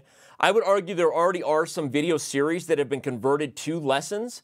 So chess in black and white. I'm not sure you really know that, but I mean, let me show you real quick. In our in our full feature again, let me just show you our videos. For example, right here. I just clicked on I clicked on Anatoly Karpov's top five moves. Like this is a video series. Okay. Did you know that right on the right here it says it says try the lesson? Any videos you now watch on chess.com, you can try a lesson, and this this is you is instantly a lesson. Start the challenges. This is a lesson geared at you. I don't even know that I can find the move here. One of five. What did Karpov? What ingenious move did Karpov play to prevent Black from contesting and control the A file? Um, he played this move. I remember this game. Oh, it is I, your old Uncle Sasha. Welcome back. Uh, how should White prepare to double rooks on the A file? Clearly, it's Bishop C2. So, this is a lesson with videos by Simon Williams with with lessons. So chess in black and white, there are lessons that are geared toward you, and you should use them and enjoy them. Um, okay. Josh Rod. Any plans for another Komodo versus human event? In fact, it's already in the works. We just had Komodo versus David Smerdon. Komodo versus Alex Lenderman is coming in May. I'm just going to answer it that way because we got a lot of questions here.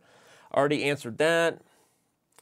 Any plans for Title Tuesday to be 10 rounds again, or even more than that? Yes. Um, there are changes coming to the Title Tuesday format to, again, bigger prizes, um, maybe more rounds, maybe something we learned from the Abu Dhabi Blitz Championship, which was $10,000 and for a single day event, the most we ever had, in terms of the final stages being a knockout. I'm not going to say more about that, but we are working on things for the Title Tuesday. It should make even, even those who are still very critical of our fair play you know, despite my whole message today, not to say that my message should matter, but, you know, we did give you a lot and talk to you about our philosophy in terms of losing some mini PR battles to some of you who think, you know, we're not acting fast enough, but winning the war and continuing to invest and make sure we do catch cheaters. So we're not going to stop. And we think the title Tuesday with some format changes might be even better for some of you that are still critics of fair play and what chess.com does to catch cheaters. So look for that coming soon. Chess TV, are engines allowed to be used for personal friend to friend games from Makula G? Uh, M A C A U L J. Um, they are not. Now, I will say this we have had this happen, and in cases where both friends wrote in and both friends appealed and said we were aware of this, we have dealt with them cooperatively to not consider it be cheating. But sometimes this excuse is made and it's not totally honest. And even if that's the case, it's not something that is necessarily approved. Um, we have talked a lot about creating our own sort of pool of players who want to do that. It's actually called Centaur Chess. If you didn't know, it's actually a thing. And there are some people who are very good at Centaur Chess. There are Centaur Chess world champions, people who play openly, me and my favorite engine versus you and your favorite engine. It leads to some fascinating chess. I got to be honest, I'm a fan. Like the Computer Chess Championship, these are brilliant Leela games we're seeing versus Stockfish. Check out my videos on YouTube, shameless plug. Um, some of the computer games, if you dismiss that they draw 75 in a row, they come up with brilliant wins like that bishop ending, right? That are just like blow all of us away. Uh, but Centaur Chess is also a thing. It is not something we currently openly endorse on chess.com. We're working on it. Um, Erik has it on his feature list for 2027. Just kidding. It'll be sooner. Steffi94 wants to know what's happening with the Pro Chess League finale. It has been moved to September because of COVID 19, the organizers and sponsors that we have there um, worked with us so that we didn't have to kind of completely cancel it. Um, depending on where the world goes, maybe it would have actually been possible the end of May. I don't know what's going to happen with COVID 19, like all of you. and I think it might just depend on the region you're in. People might start making more individual decisions on that. Um, but we moved it to September anyway. And um, that is when the Pro Chess League finals will happen live in Oslo. You should be there. It's going to be an amazing chess esports finale. Um, the Beamuth wants to ask, assuming that you have been putting the time to actually improve in chess and thus increase your rating from 12 to 1500 in the span of 12 months, will your cheating algorithm take into effect that the player could have actually improved his games? So that's a very good question because it leads to one of the most common misconceptions. And you're going to love this answer, Beamuth. Anyone who cares about our cheat detection, this is going to give you more insight.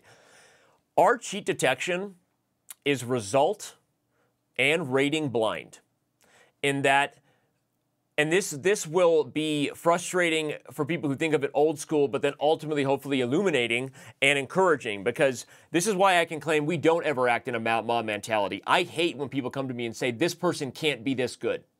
You don't know. You don't know who the next Magnus Carlsen is. People say, like, this person can't improve that, or this person could never find that tactic. People play brilliant chess games all the time.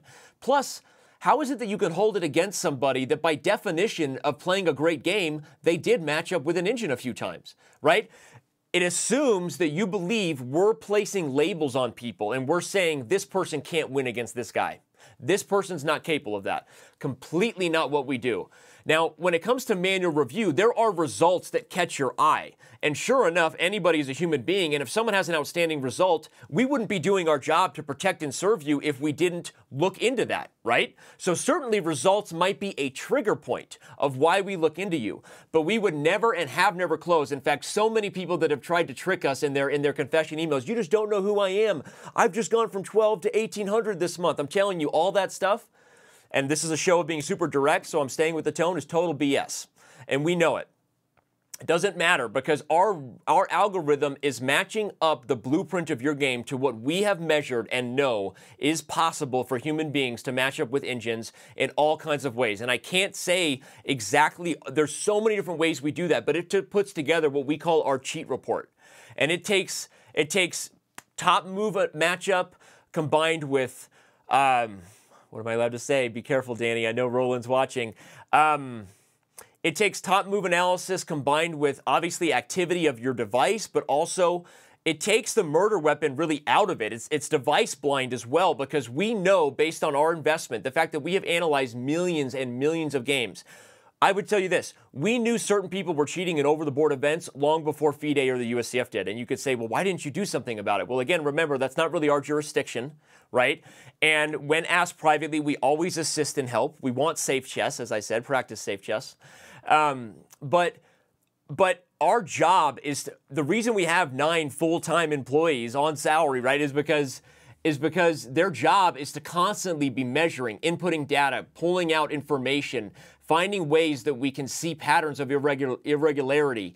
Um, what the IOC does, it measures not just whether someone has a high, uh, you know, white blood cell or oxygen count in their blood, but it also knows what their normal level of blood is. And that's the best I can tell you in terms of what we're doing all the time is investing here for you. And we are not making uh, subjective opinions, and that's where we have to act in a way that is a little bit harder than everyone else who gets to act and just say this person couldn't do this or this person's outperforming their rating. Even GMs, it's often wrong.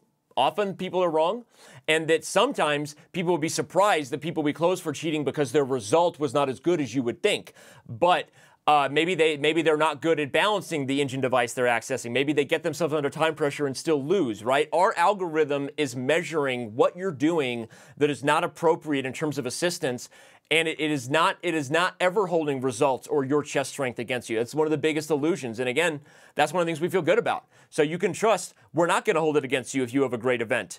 But if you had a great event and cheated and then try to tell us privately, no, you just don't know how good I am, we're going to see right through it because it's not how we were measuring you anyway. It wasn't about your result, it's about the indications that your moves gave us in terms of what we know is humanly probable for people to do. Not possible, but probable, right? And that's the, that's the way we can act. And, and the best I can describe that is if, if you were in court and you said, I just lifted that 1,300 pound refrigerator with one hand. And a guy's like, No, you didn't. And you're like, Yeah, I did. You can't prove I'm wrong. And he's like, Well, do it again. And you're like, Nope. I can't prove you wrong. And I can't prove, and you don't have to prove that you can do it again. But guess which one of us wins in a court of law in terms of the way our current legal system works? It's the reason it's called beyond reasonable doubt is because you're never measuring the impossibility of things. But we do a great job of measuring the improbability, and we do it with integrity because we're constantly measuring the chances we might be wrong. Okay? You're not doing statistics with integrity unless you're also keeping yourself in check. So we're not just screaming on a, on a, on a rooftop or crying wolf when people have great results. If I put this hand super close to the camera, you might say it's a hand. You might say it looks like a baby's butt. You might say it looks like a hamburger bun. It's not until the hand becomes clear that you actually know what you're seeing in statistics, right? You have to have enough information to really understand and measure with integrity, and that's the realm that we operate in. And so the best way to consider it is we're not trying to make false accusations. We're trying to make accusations we can stand by, being conservative, but also protecting all of you. And so Without getting into more things, I've probably already said too much that are indicators of the type of statistical methods we use. Some of them are well known, some of them are not. Some of them are a combination of well known stuff that people just haven't, other people don't do yet. But that's what we're doing, and we're doing it to measure the probability of, of impossibility. The probability of impossibility never excludes the possibility of an anomaly. I sound like Neo. Man, I'm like the architect in the Matrix or something. Okay, the probability of a possibility never excludes the probability that the possibility could be an anomaly. So there's always the chance of an anomaly, but there isn't the chance that we win in court that, that we would act on. It. Meaning we would only do it if we know what we're doing and we're measuring is this a baby's butt? Is this a hand? Is it not? And as soon as we know that's a baby's butt, you can bet that we uh, put some powder on that baby. This, this, uh, this reference got way out of control. Moving on. Um, here we go. Please post the open letter from Smizlov fan. We will be sending the letter in chess.com messages from yours truly. It's already written.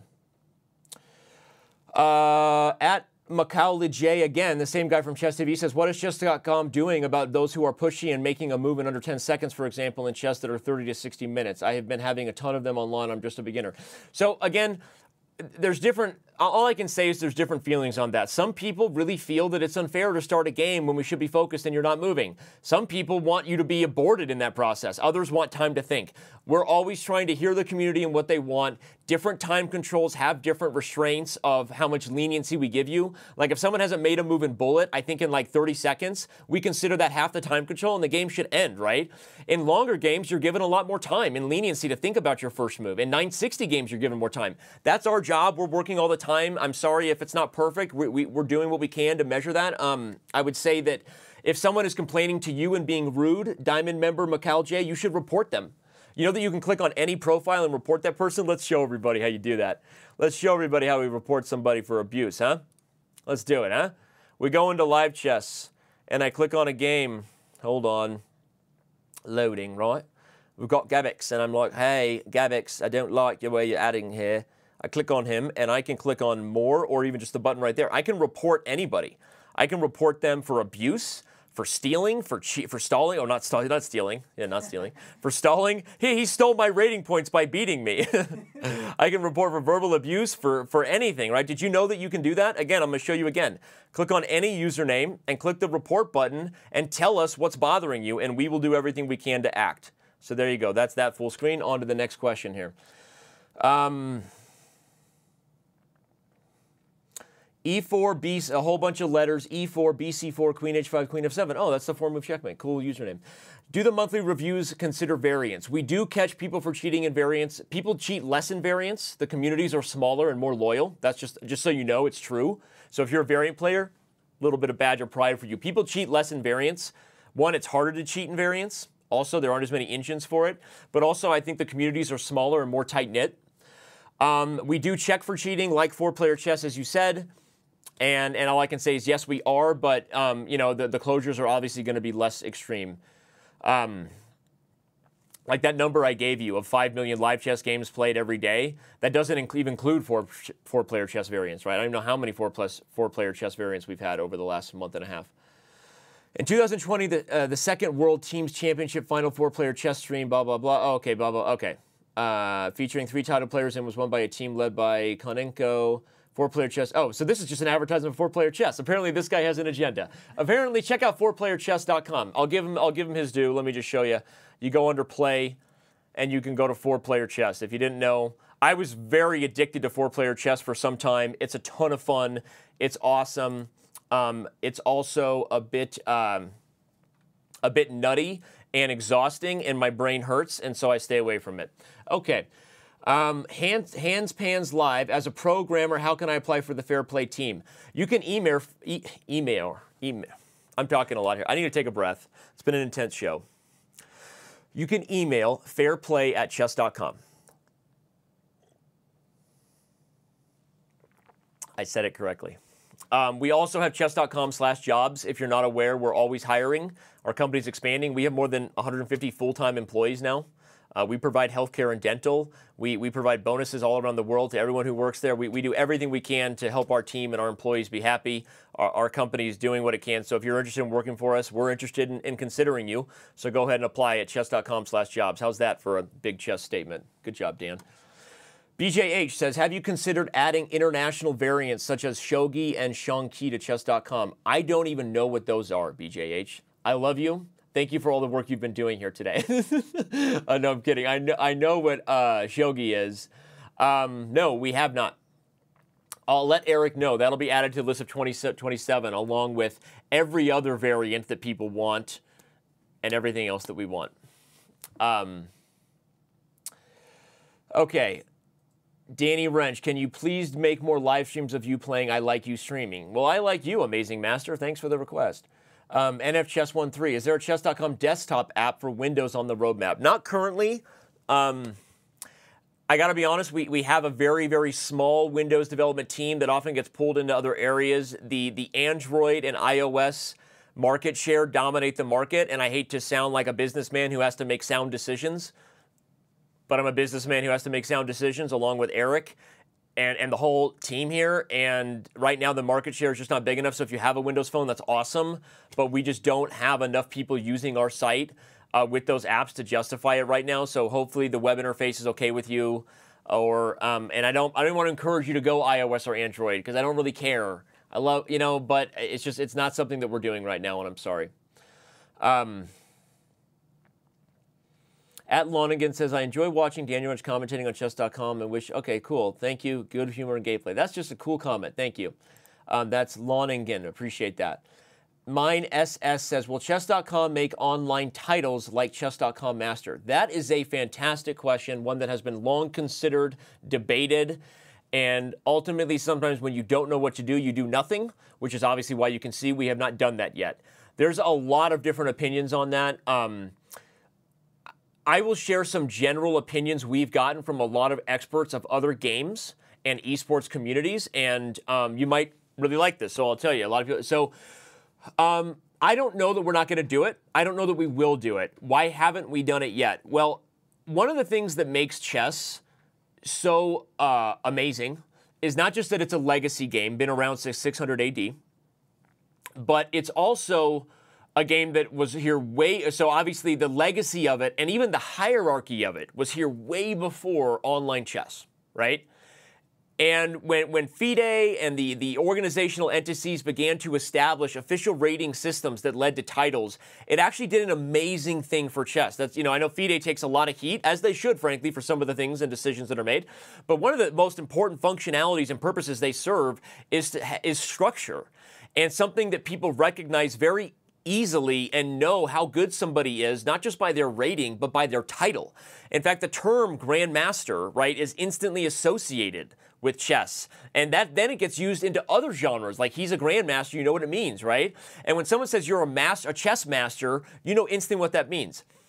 There's no like that guy's a Fortnite master. That guy's a Smash Bros. This. Everybody's like, dude, I'm pretty good at Smash Bros. Like, you want to throw down? Well, I was better at the N64. Like, I like the bigger paddle. Like, the the GameCube sucked, right? Can we all agree on that? And now, now I play Smash Bros. on the Wii U, or and I love it. Anyway, wait, wait, wait. so but here's the thing. According to all of you, you are the best Smash Bros. player in the world. And here's what that's actually led to. I've heard this from all our partners at Twitch and a lot of experts in the esport industry. That has actually led to utter chaos. Because when you end up going to major events, people don't really know who the best are. They don't. And they don't know that the person claiming it isn't as good as they say they are.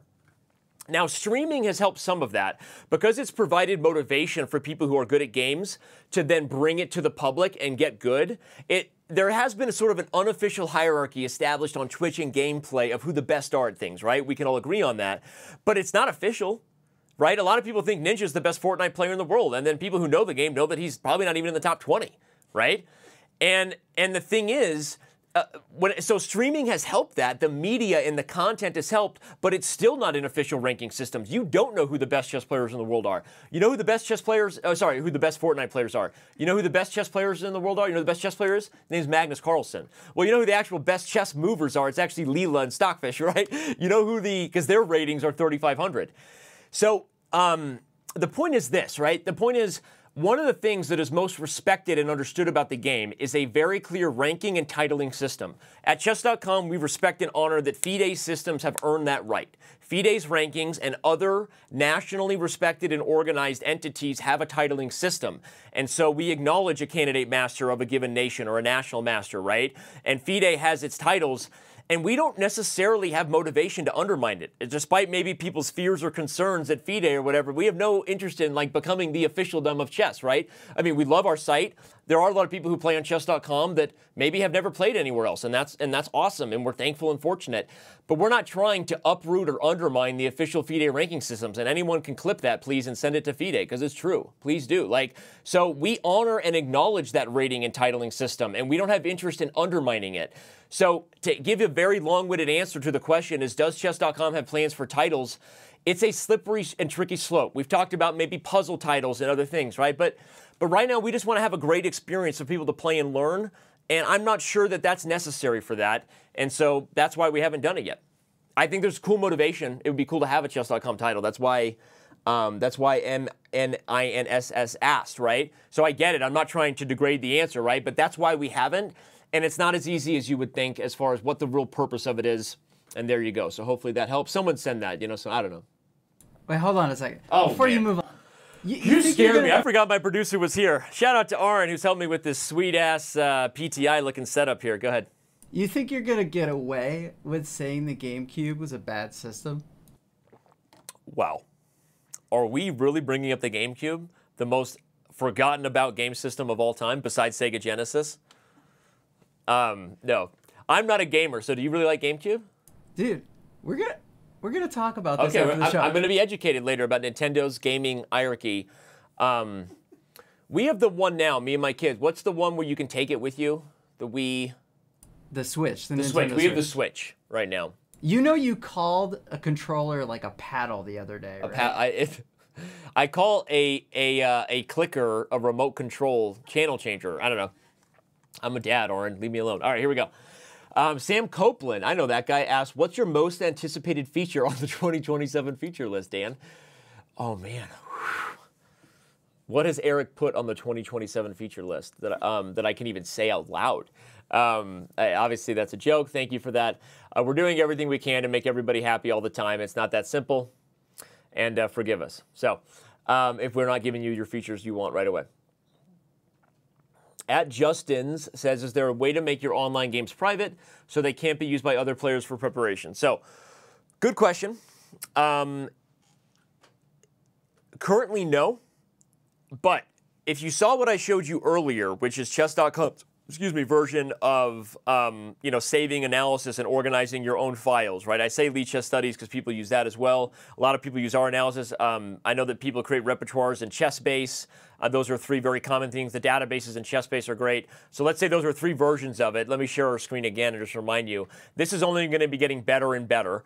But um, you know our analysis tool does allow you to save anything you want. Um, in analysis. So let's see, load. Oops, well, go here. We'll just save a link that I gave earlier. The analysis I did for a video I did at one time, Magnus Carlsen, Wesley So. So in my saved analysis kind of list, I have a lot of things. This is private, and you can do anything you want here. Maybe, maybe you can share it if you want, but you can add any notes to your games and make them private. We have been a, a kind of a proponent of public information in the sense that we believe your game archive is public territory. So anyone can see Danny Rensch's archive, right? If we go to my profile, um, and let's see, like we can go to Hikaru's profile, right? Anyone can see Hikaru's games. If I want, I can see all of Hikaru's recent games, right? Um, I can see that I've actually won 11 times against Hikaru and lost 55 times. Did you know that? Or no? No, I've won 10 times. Okay, good. I didn't even, uh, okay, I didn't even know that, right? Um, so we believe that those who have tried to lock down chess experiences, um, like Agon, to, to speak of, you know, you know, all the direct things we do on this show. It's what the state of stateofchess.com is all about. Others that have tried to lock down PGNs is not necessarily in the realm that we want to operate in. Public games are public information, um, and PGNs are portable game notation, and we believe that. And and now what you do with that game, you add your own thoughts and analysis. Now you've put your own intellectual property into it, right? And that that can and should only be shared at your discretion. I will say this people have requested a lot, and Justin Z, I'll give you the benefit of the doubt. You're probably only asking because you're a serious chess player, so we get that. Um, if people have requested uh, privately, we have we have allowed title players to have a second anonymous account, a second secret account. Account duplication, multi accounts is not something we allow on chess.com. It is a version of fair play violation. So that is not me telling you that everyone here can go make a second account. It's not within our rules. But obviously, we know that millions of accounts are created every year here on chess.com. Some of them are duplicates. And in order to kind of help the process of title players who do want to play secretly, we have given them usernames they can keep secret until they wish to make it public. Um, now what we've done with those accounts to protect other guys like Hikaru, who he's playing publicly all the time. Hikaru, love him or hate him, has to has to be you know he's a he's a star and gets criticized and and you know people like and dislike him all the time. But his games are all public. You can see his profile. Hikaru doesn't even have a Smurf or anonymous account on Chess.com unless he's doing a Bongcloud speed run. But even then, it's public, right? Um, the point is, in the interest of protecting guys like Hikaru, if you have an anonymous titled account, we socially disable that account, meaning it's not allowed to be listed on leaderboards. You're not allowed to compete for certain things. You're certainly not, not allowed to compete in cash prizes. So we try to help people like you, Justin Z, to, to prepare for tournaments, to be a professional aspiring player by giving you that opportunity. It is a special exception made for at, at the request, I guess, of a very serious you know, regular premium member who wasn't titled also wanted a second account and says, hey, I'm not titled yet, but I'm 2,000 and I also want it. We might say yes to you too. We're not trying to discriminate against non titled players, but even then, it is a process and people have to ask permission. And if we find people multi accounting, uh, there, are, there are consequences. And so, it, it, you know, we protect the public title players by, by limiting those accounts and we do allow you the opportunity to do it if you want. So that's what I can say. Otherwise, we believe in the the chess is public information, and once you play a game, it should be known to the community. So that's my that's my statement on that. Um, and my statement now is I am exhausted. We have had a, a, a, very long show here, a lot of talking for this guy during the stateofchess.com. If you appreciate this and you happen to have been watching this full show um, in a in a VOD later somewhere, please leave a comment. Let us know you appreciate it. If you appreciate it, please, you know, in chat, let us know that um, that you that you uh, that you like this show. We're gonna obviously we do it four times a year, once a quarter, and partly we only do it that often because it's you know it's something we you know a lot of energy goes into this. This isn't just commentary, but I'm probably more exhausted now than I have been other shows discussing very hard hitting topics. So we're gonna take a very quick break. When I come back, hopefully um, you guys have shared any final questions you have. We're going to pick a few more final questions. Probably the Chess TV chat gets a little bit of favoritism, but we'll check out YouTube and Twitch too. So if you have any remaining questions, now's your time. Otherwise, final thoughts wrapping up today when we return. We'll be back in just a couple minutes.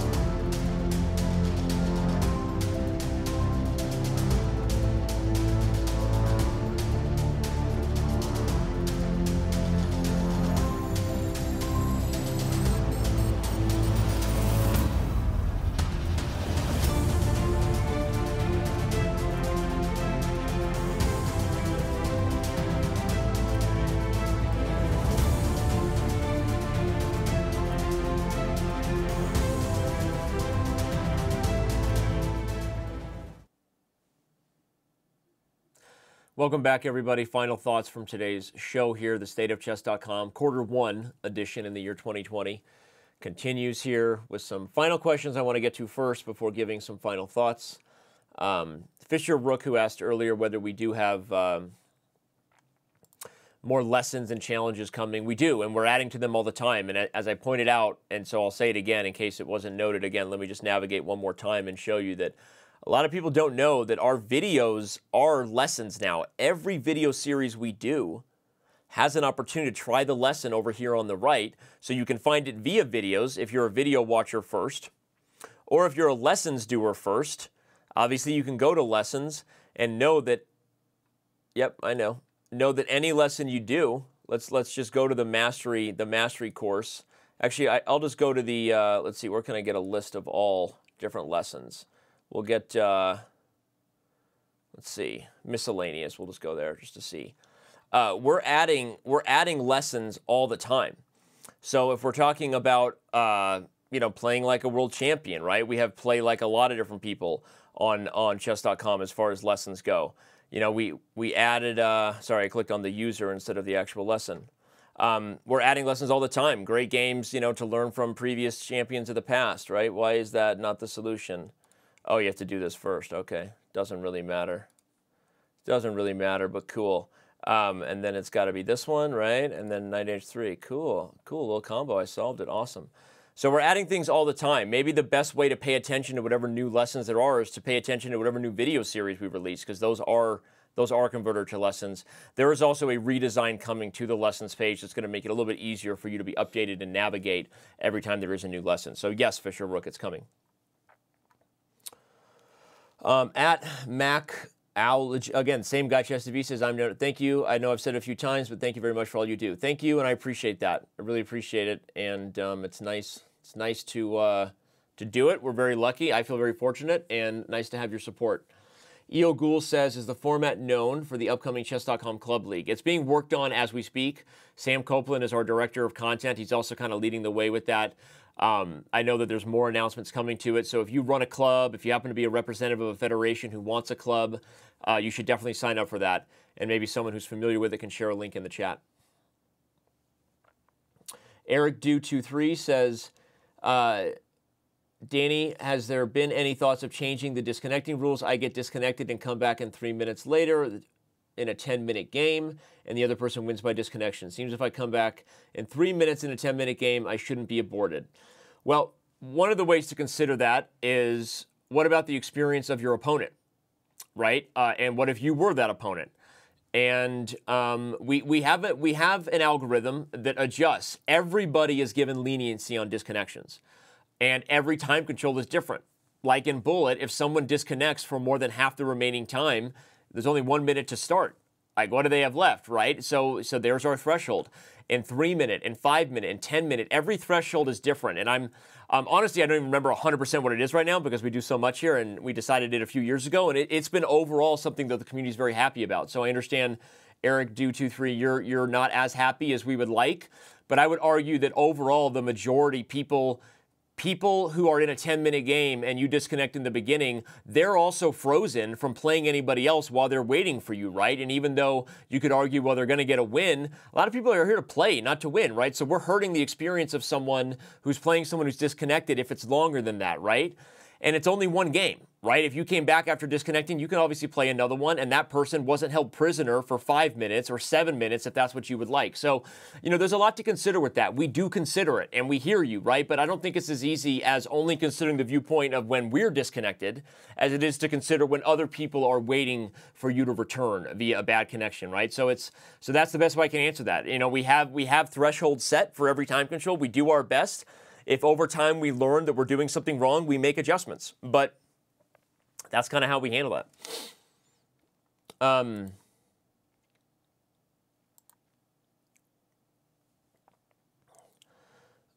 Race ES says, size says, can you please, please give us Puzzle Rush for the other variants as well, like Crazy House and King of the Hill?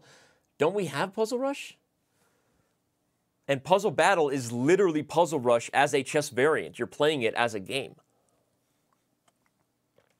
So I greatly appreciate the request. Puzzle Battles is Puzzle Rush as a chess variant. You're literally battling someone puzzle, puzzle, mano y mano. I mean, I think we have that, so I'm, I'm, I'm confused by that question. He he means like uh, scenarios of Puzzle Rush that are Crazy House, or it, it's a puzzle if you're playing King of the Hill. Ah, that's crazy. Puzzles for variants. Okay, so again, I would say that that's a 2027 feature list. It's interesting, right? I'm, I'm joking, and we always say that that's become the tagline, maybe sooner. But we're still trying to make the experience we can we can the best it can be for what people are doing millions of times over. And variants are awesome, and the communities that love them are supporting them, and we love them. But that's that's um, a difficult thing to prioritize right now when there's some other big things you don't know about that are coming just to the current experience that have a lot of our focus. So. Um, same person from YouTube, our race size, says, "Can you please, please give?" Wait, that was the same thing. Okay, a size. Okay. Uh, tr- Timmed7 says DannyChess.com needs to implement a more structured and detail oriented approach to producing their video lessons. You are 100% right. I actually just said that without even having read your comment. We are working on a redesign for it to make it easier to navigate, easier to search. If anybody on our product team, I know Eric is often too, we know that, and it is it is literally one of the top priorities, and we're working on it. We have so much amazing content just for us that people people who find them are like, this is the most amazing thing ever. I get to watch a video and then get questions about what I learned. What could be better, right? And other people are like, I didn't even know this existed and I don't know how to navigate it. And when are more coming, right? They don't even know we're actually doing more. Every time we produce a new video, that is a new lesson course. We need to unify and simplify the design here, and we're working on it, and we got it. Um, so there you go. I see more questions coming in chat. People asking Danny, "Can I ask you a question?" Which is already a question. Just kidding. No, but seriously, final final thoughts on today's uh, stateofchess.com. Now to be given, just to say that um, again, this has been. Um, Funmaster Mike says, Danny, how did you get your haircut with everything closed? Am I breaking social distancing measures? My sister is a um, a licensed what's it called? A licensed hair cutter, a licensed stylist. stylist, a licensed stylist, beautician, more, more, whatever. Um, and uh, after making sure we were all COVID free and having had been social distancing, she was able to cut my hair. And uh, thank you for that. So I'm very fortunate.